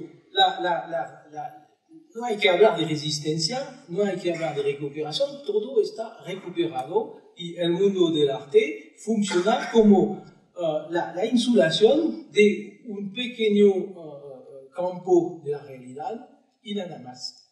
Sobre el segundo punto de George Rock, diferenciar resistencia política y resistencia estética, es muy posible que hay muchos países donde hay una gran diferencia. No, voy a decir el contrario, pero en, nuestros, en, en muchos de nuestros países democráticos, desarrollados, de consumición y de, y de producción tecnológica, no hay diferencia entre resistencia política y resistencia estética. Hay una estetización completa también de la política. Y hay que ver le tutte bianche, en, el, en, el, movimiento altermundialista, le tutte bianche, Black Bloc, es un, término, un término estético, es el vestido, eh, la, el comportamiento, todo está, y, y, la política también es completamente estetizada, no, puede, no, no, puedes, no, podemos decir el contrario. Y uh, mi, entonces mi segundo tesis, tengo muchas otras, uh, mi segundo tesis es que hoy hay, hay, un, hay un, un, segundo uh, factor, es que la, la, la vida es completamente estetizada los valores de la estética. No quiere decir que, la vida es bella, que es bonita, que la belleza es, es omnipresente. No, no, es que el, la, la, las valores estéticas son los valores de nuestro paradigma de, de, percepción del mundo, de que eh, sea el mundo político, el mundo moral, la benevolencia. La, la, political, correctness es una forma de estética. La, moral también es una forma de estética hoy. Entonces, es mi, mi, mi respuesta a los dos uh, puntos de George Rock y, y te, te, te, agradezco de permitirme de hacer estos dos puntos.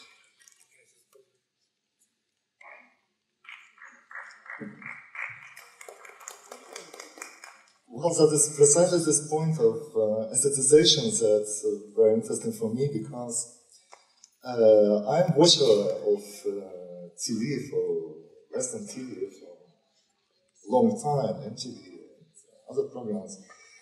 And um, I watched it uh, 20 years after my invention. And is certain development which is very, which is interesting for me. All the images, uh, aesthetically speaking, becomes more and more tautological. For example, a rock uh, musical and dancer looks uh, like the fitness studio, yeah? and people making aerobics, singing at the same time. And uh, if you're looking at um, at um, I don't know executive of the uh, companies and uh, I don't know politicians, they also are products of the fitness studio and so on and so on.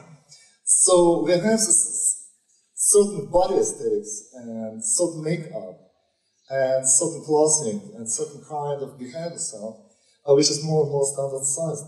So this aestheticization is actually standardization, and I would say that only one sphere where aestheticization doesn't, in this sense, doesn't take place is still art. So art is for me really the only sphere in this uh, society beyond aesthetic. Every other field of social life is already aestheticized. That means is already subjected to some very easily recognizable criteria of aesthetic valuation and choice. Only art is a sphere beyond aesthetic. So the sphere where we not immediately apply a certain uh, well-established uh, aesthetic criteria to, to the artworks you are confronted with. Um, actually, I had a very interesting experience um, to tell a story that relates to this whole subject. Uh, I made a pretty big exhibition of uh, Soviet uh, Stalinist uh, paintings and uh, art in, uh, in uh, in Germany. And many of my friends and colleagues and critics visited this exhibition. Almost all of them asked me, do you really believe that these paintings could be shown? They are not really well painted. So, well, you know, this kind of objection uh, was already discussed in the time of uh, Impressionists and Cézanne, uh, uh, in uh, Salon de Pendant. Why should we uh, start this discussion again? And it's interesting that uh, only two of my colleagues uh, said, wow, but these works, uh, this painting is actually very well painted. Uh, tell me please, is it possible to buy them? So we have immediately this connection between certain kind of media, certain kind of art market, certain kind of market value, which is at the same time aesthetic value, and certain uh, uh, difficulties to apply this kind of market-driven aesthetic evaluation to an art which was produced uh, beyond the market. Whatever uh, you can say about it, one fact is quite clear. It was produced beyond market, it was produced beyond certain aesthetic claims. Yeah? And that was, for me, also quite an experience, and that is why I think we have to preserve this kind of unestheticization or de-aestheticization of art that is actually, for me, the artistic uh, event of the 20th century. That is the essence of modern art. I have to prevent this de-aesthetization of art as a chance to, to be able to react to the aestheticization of life uh, practiced by contemporary politics and media. Uh, I will ask my question, ask my question in English because it's addressed to the boys. Um, I didn't, uh, I didn't understand all, uh, all what you said, but uh, uh, at the end of your, at the end of your, the second part of your paper, I had the impression that you, uh, you contrast um, the, uh, the media world, uh, and, and, you said that images are, are tautologic, and, and you, you, you, you, just spoke again of that uh, let's say tendency to, to identification in, in the media. And uh, at the same time, do you, so do you contrast really uh, the world, the media world with the, the art world? In, in, and do you see? I had the impression, you will tell me, I have the impression that you see uh, the, the field of art as a possibility of, uh, of criticism of the media. Is it true, or am I mistaken?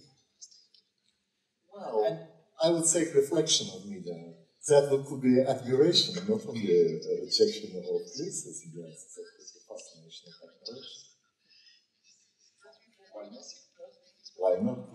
I mean, uh, you know, is it is it the role that you that you, you give to, to, to the art in, in its function of uh, of, uh, of resistance? Uh, who I am to give art a certain role. I think art uh, and makes what it uh, thinks it's right beyond my you know, instruction. Uh, what, what I see is a chance, is a chance uh, to compare the aestheticization through media, to compare the visual, visual world of media, to compare with other kind of image production, which is accumulated by the memory of contemporary and modern art. And that gives a possibility of comparison. This comparison could lead us to conclusion that the image uh, production by media is much better than anything that was ever produced, or whatever. So it doesn't preclude and it doesn't bring us to any conclusions. But problem is that we cannot reflect on media aesthetically inside the media context itself. We in a different context, as a different context defined by what I described as aesthetic equality. So there's a capability to compare everything with everything on the same level of aesthetic validity. Something that we can do, we cannot do in the context of media But what I protest again is the idea that art world is something very small, and media world is something very big. It is big in terms of capital and circulation, of whatever, but it's not actually so big in terms of range of images that actually circulate inside the system. And that was precisely what I was trying to draw attention to. Okay, and so now uh, uh, uh a last question on my part. Uh, are you the last representative of Art for Art's sake? Are you the last representative of the, of the doctrine of the arts for the art's sake? whatever.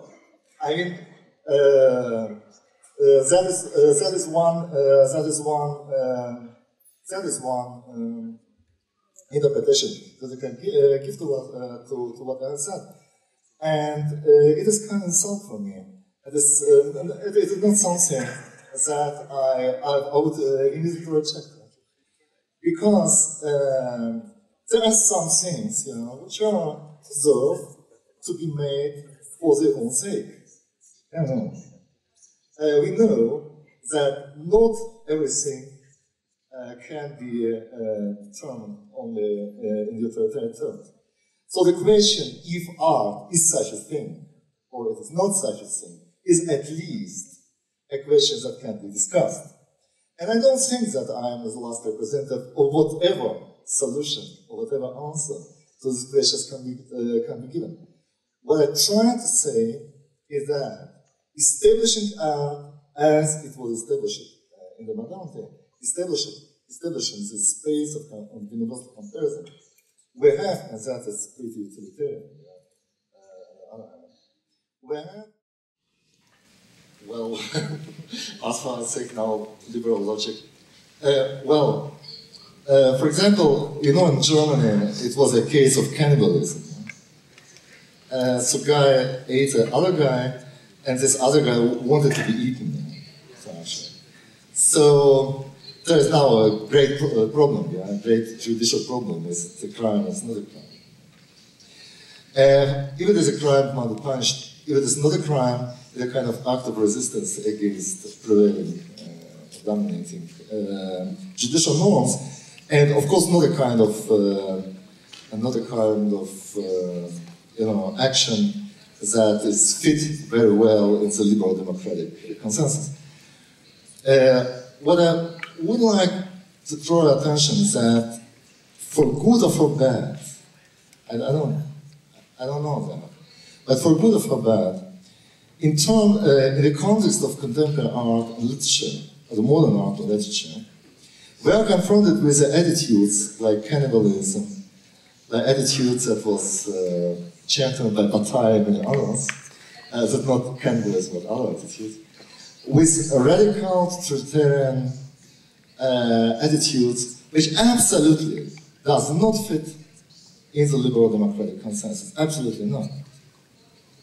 At the same time, in the, in the area of art, and as art phenomena, we are able to talk about them, we are able to compare them to other acts and attitudes and desires, and gives us a possibility to reflect on them.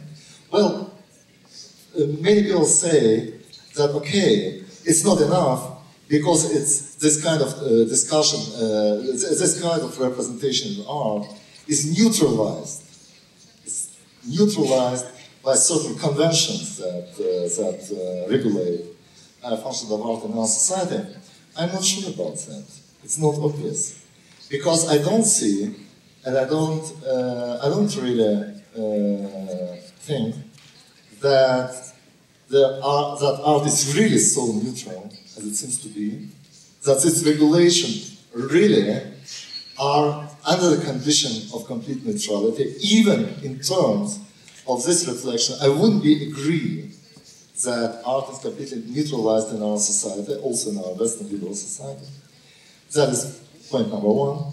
And point number two is that art precisely gives us a possibility of speaking about things that does not fit in this liberal democratic consensus. Something which is precisely uh, goes beyond what uh, Habermasian, let's say, uh, kind of discussion can uh, cover.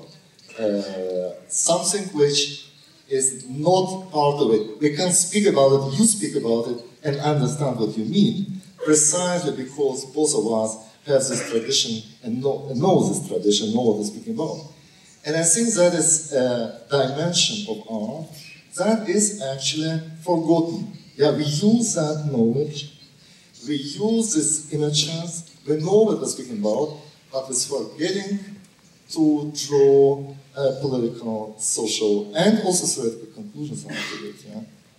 And uh, I think that if we submit, if we submit our uh, political, our artistic practice, our artistic practice, to something caritative like helping homeless, which is very good thing to do.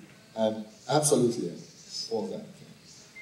Helping this and helping that, designing this progressive movement and helping that progressive movement uh, to make an advertisement uh, for its goal.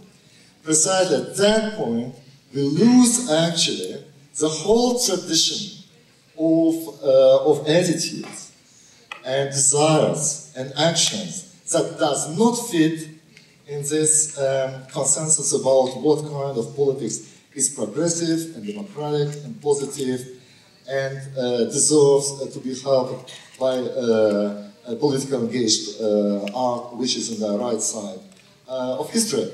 There are also phenomena on the wrong side of history. And I am, for example, glad that they also are included in our uh, cultural memory. Mm?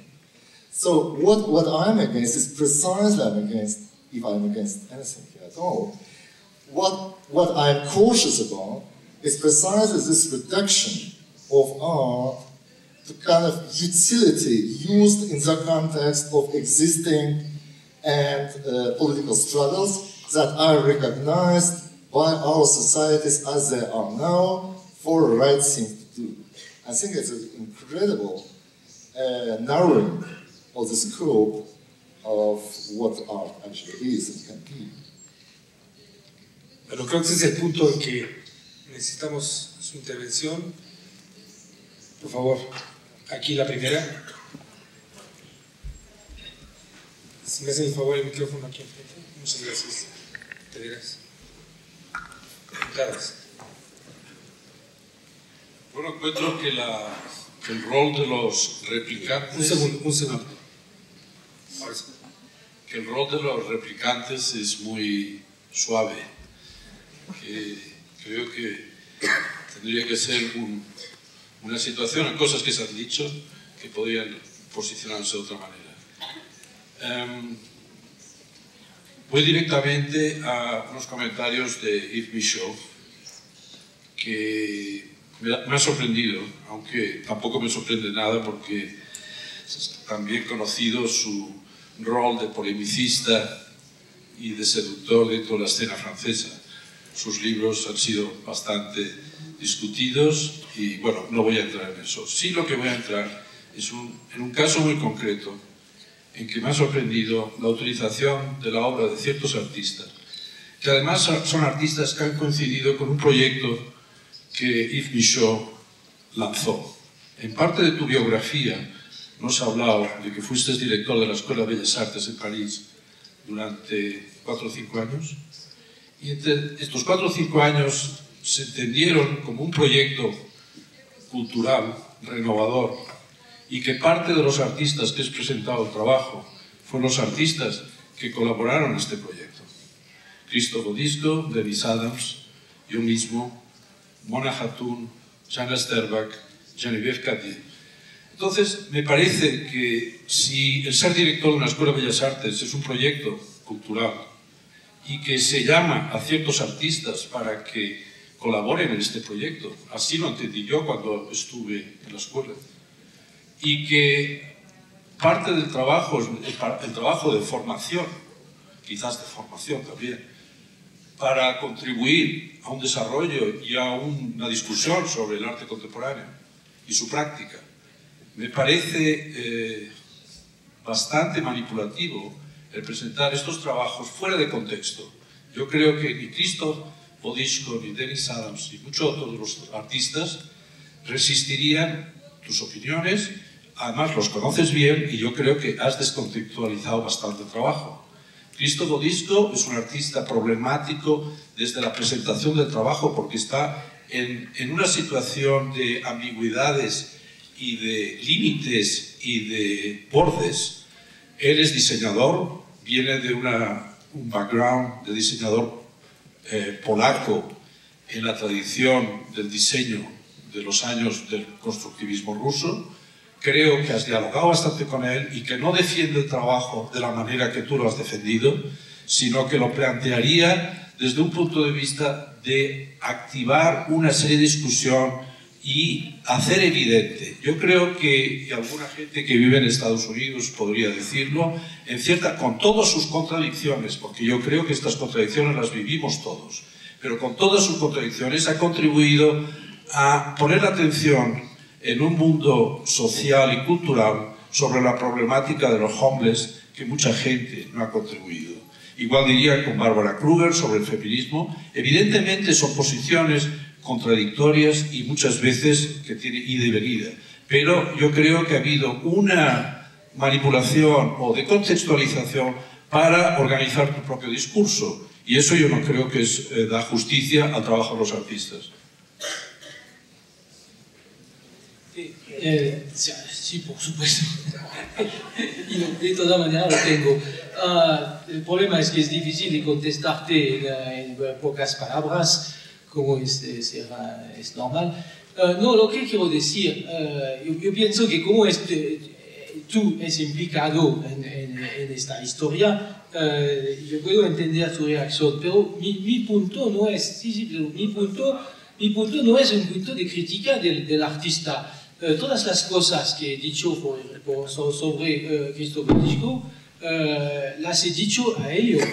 hemos discutido durante, durante meses sobre estas cuestiones. He publicado una colección de, todos sus textos.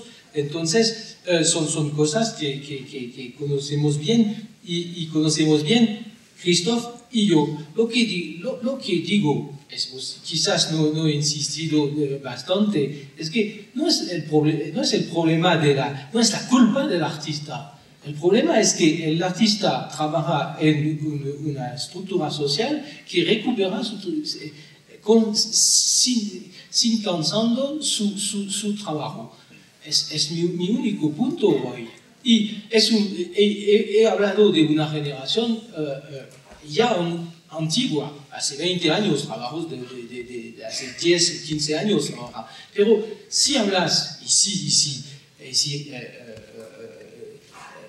intentas reflexionar sobre el trabajo de jóvenes artistas, Uh, fui invitado recientemente en España para jóvenes artistas que, tienen mucho miedo de esta situación, porque dicen, todo lo que podemos hacer es recuperado inmediatamente por la sociedad. Y entonces, ¿qué tipo de arte podemos hacer? ¿Qué tipo de intervención podemos tener en, en esta situación? Uh, tienen varias respuestas posibles, pero lo, si, si, si si ahora yo, yo, tenía la responsabilidad de, de, una escuela de arte, invitaré casi lo, lo mismo, los mismos eh, eh, artistas, pero con la conciencia uh, muy lucida que de toda manera cualquier cosa que hacemos es inmediatamente recuperada en un sistema que neutraliza toda crítica. Punto. Es, es la única cosa que quiero decir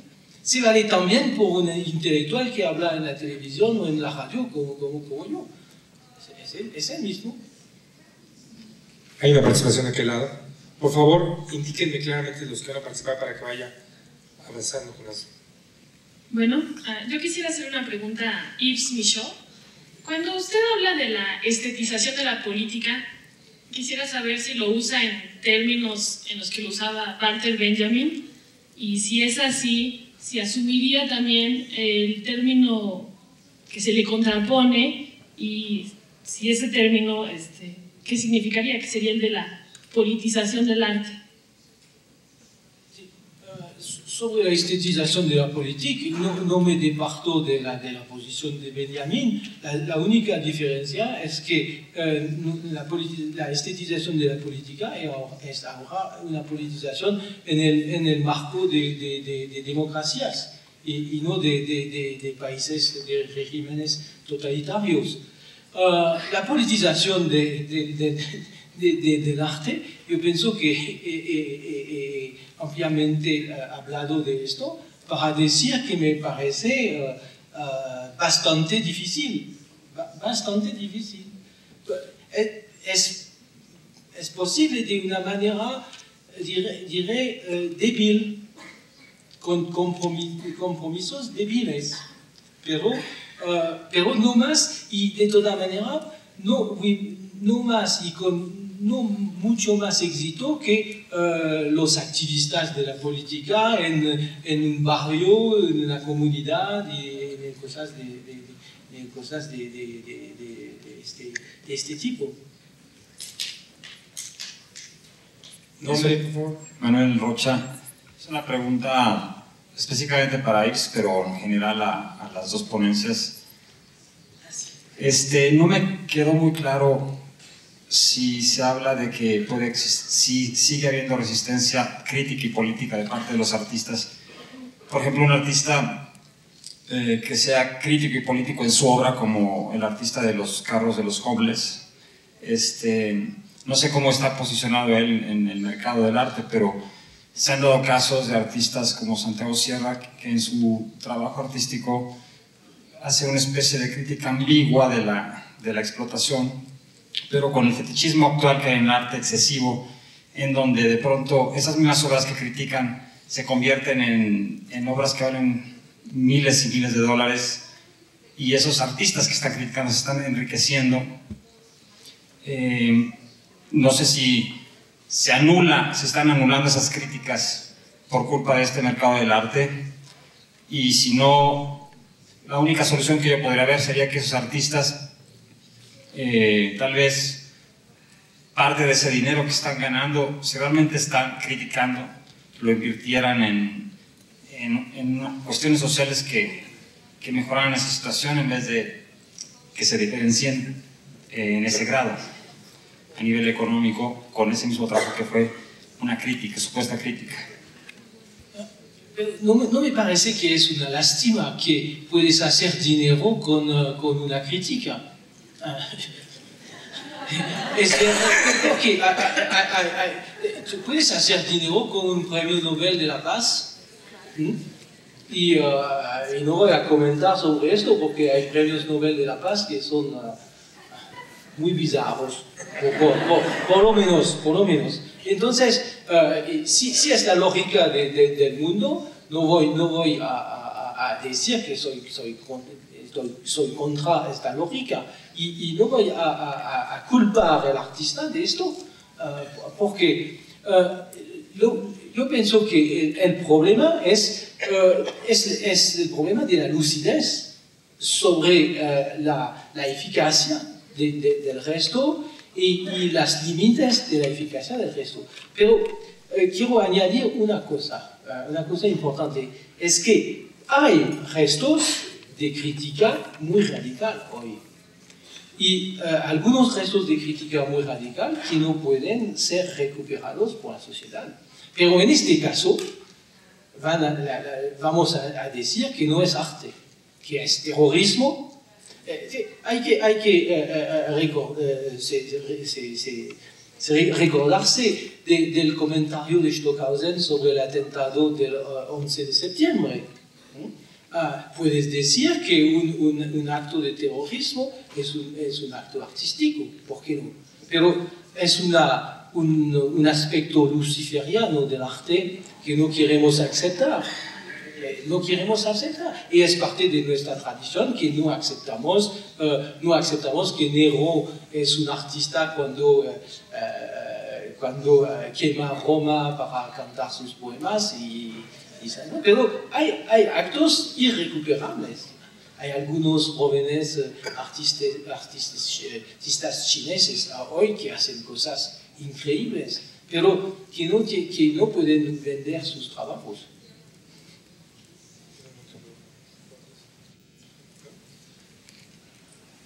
Hal Foster quiere, quiere intervenir. Yes. It seems to me that the symposium this panel might be retitled The End of Resistance. Uh, I just want to make a few points. There's a real confusion, I think, uh, between aestheticization and spectacularization. One can say that everyday life in a media world is spectacularized, but is it aestheticized?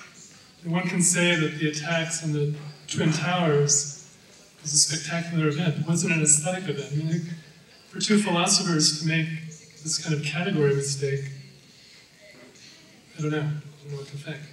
In fact, I, I think the, the panel suffers from, from two.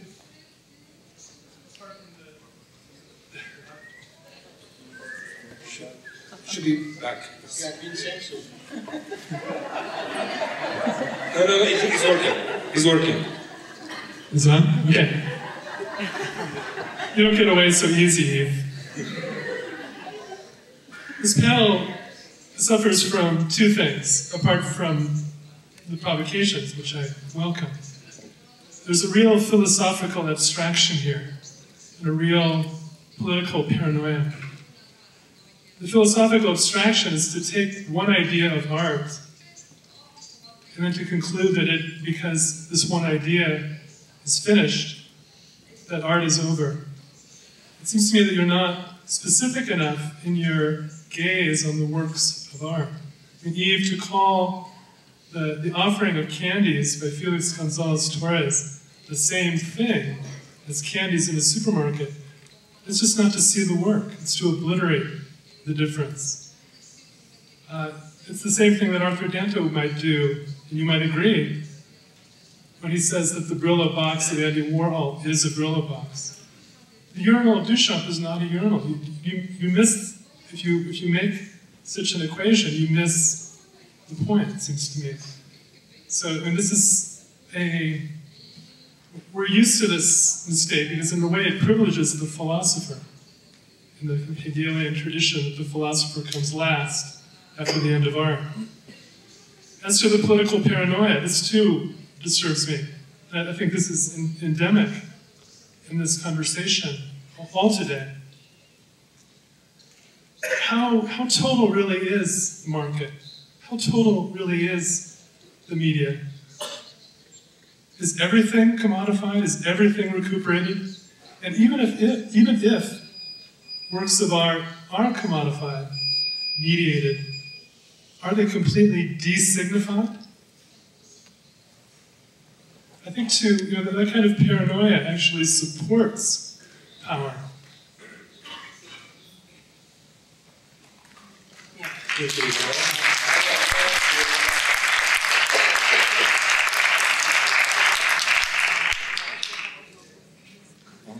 Es que quiero dejar que respondan, entonces me dan. Eh, okay.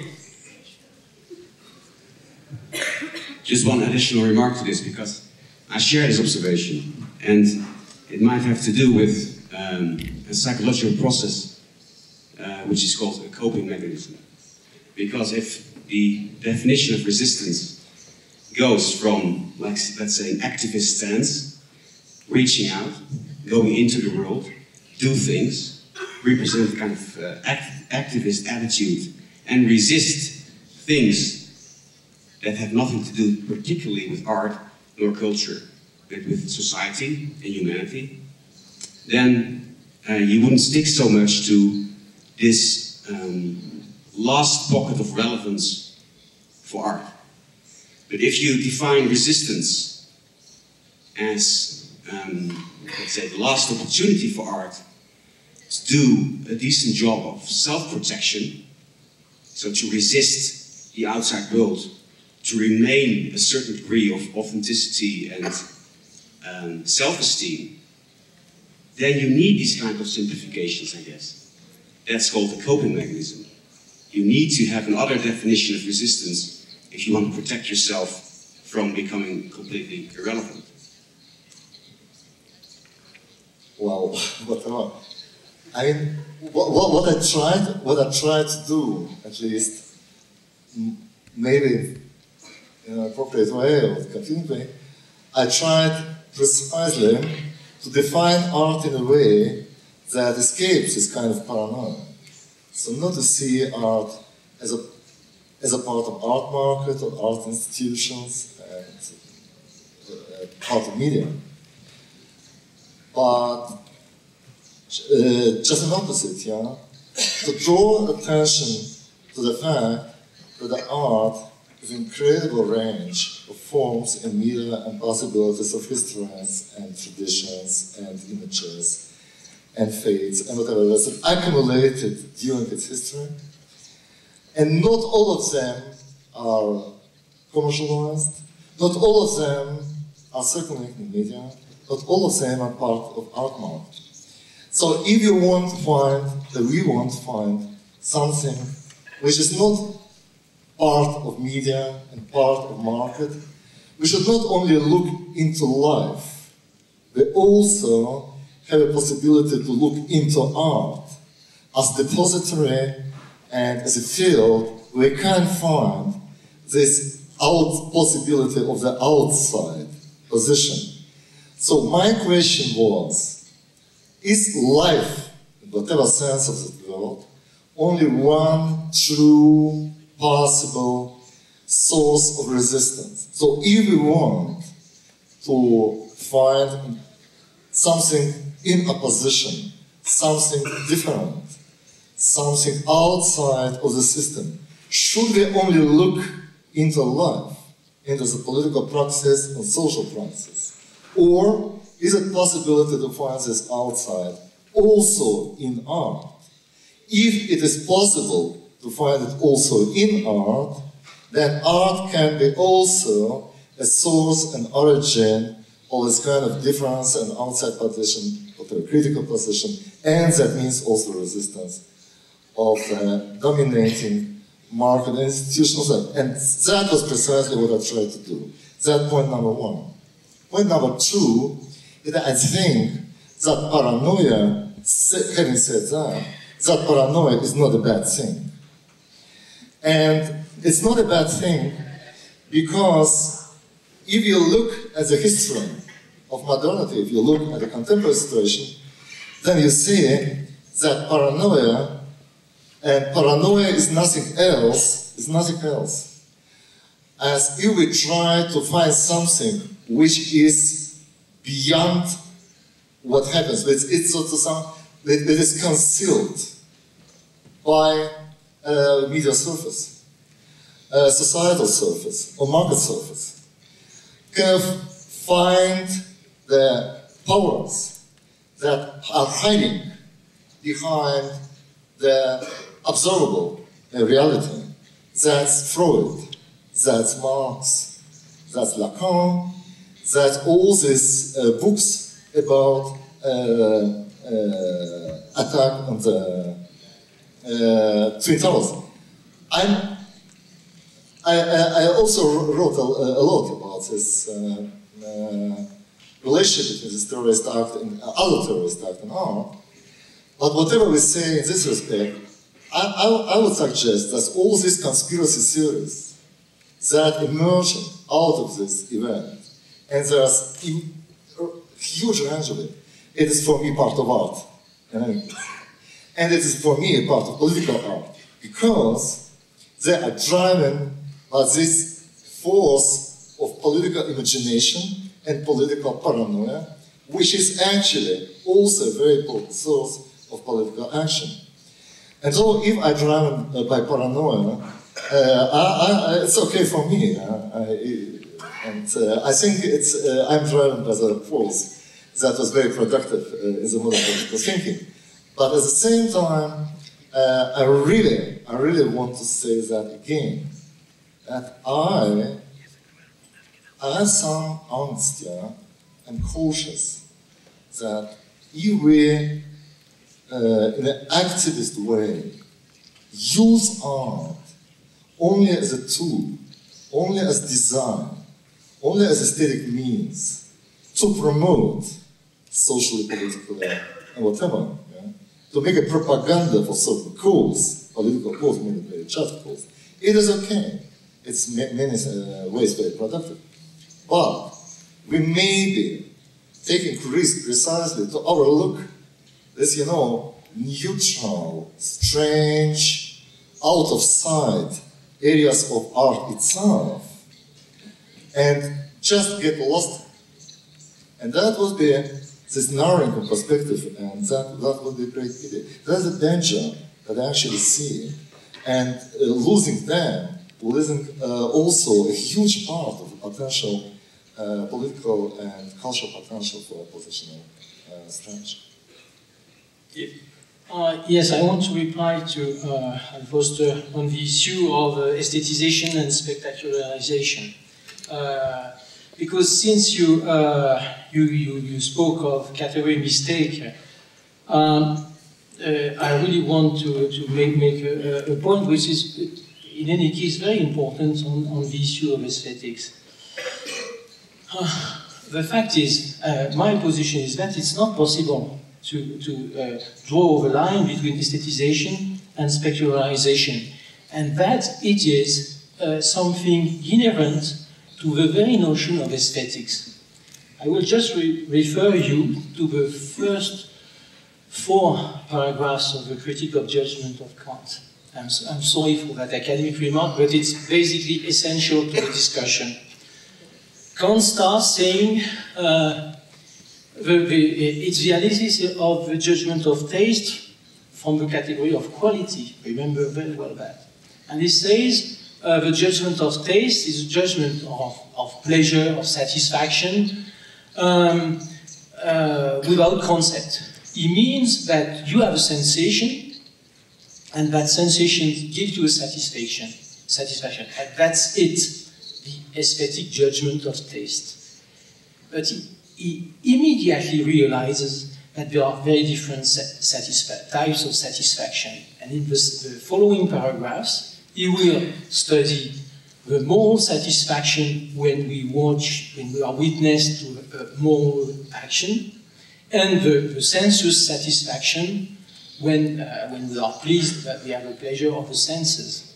And I think that in that, that very preliminary dis, uh, discussion of Kant at the beginning of the major first book on aesthetics, there are already all the confusions of aesthetics. Because in fact, the, the distinction between three types of satisfaction that Kant imagined that he has to do, uh, that distinction is very difficult to hold. And I think that the whole history of aesthetics, of, of the very notion of the aesthetic field, is the notion of, of a de different, differentiated experience. It's very difficult to draw the to tell the difference between a sensuous satisfaction, an aesthetic satisfaction, a moral satisfaction.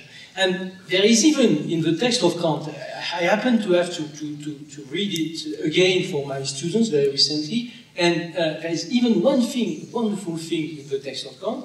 He says that uh, a concept can give us a, a sensuous satisfaction and which is uh, of aesthetic order. This is, this is the, legitimation ex ante, ex, ante of conceptual art. But I think that the very notion of the aesthetics uh, uh, uh, is the notion of satisfaction. And when you want to draw the, the, line between the types of satisfaction, is it aesthetics, is it spe spe spectacularization, is it aestheticization, finally you cannot. And the history of the aesthetics from the 18th century until now is the, the, the history of the very uh, gradual de-differentiation of that notion of aesthetics. And that, that's why I wanted to reply in that way to the category mistake uh, critic. We're just pleasure seekers. But uh, anyway, George. Quisiera volver a la, a la posición de, de Michaud. Eh, nos dice de manera muy tajante, como de costumbre, eh, en la medida en que todo el arte está recuperado, ya no hay ningún lugar para la resistencia, ¿verdad? Eh, yo creo que hay que matizar eso tantito. Eh, es cierto que todo el arte está recuperado, pero a veces a largo plazo. Ahorita me, me, acuerdo de la, la, posición que tenía Dubuffet. Dubuffet hizo mucho para reflexionar acerca de la, de la idea de recuperación. Entonces, no, no, tenía esa idea como ingenua de que la, sería posible estar en una, en una posición fuera del sistema. Entonces decía, sí, todo, todo el arte está recuperado, pero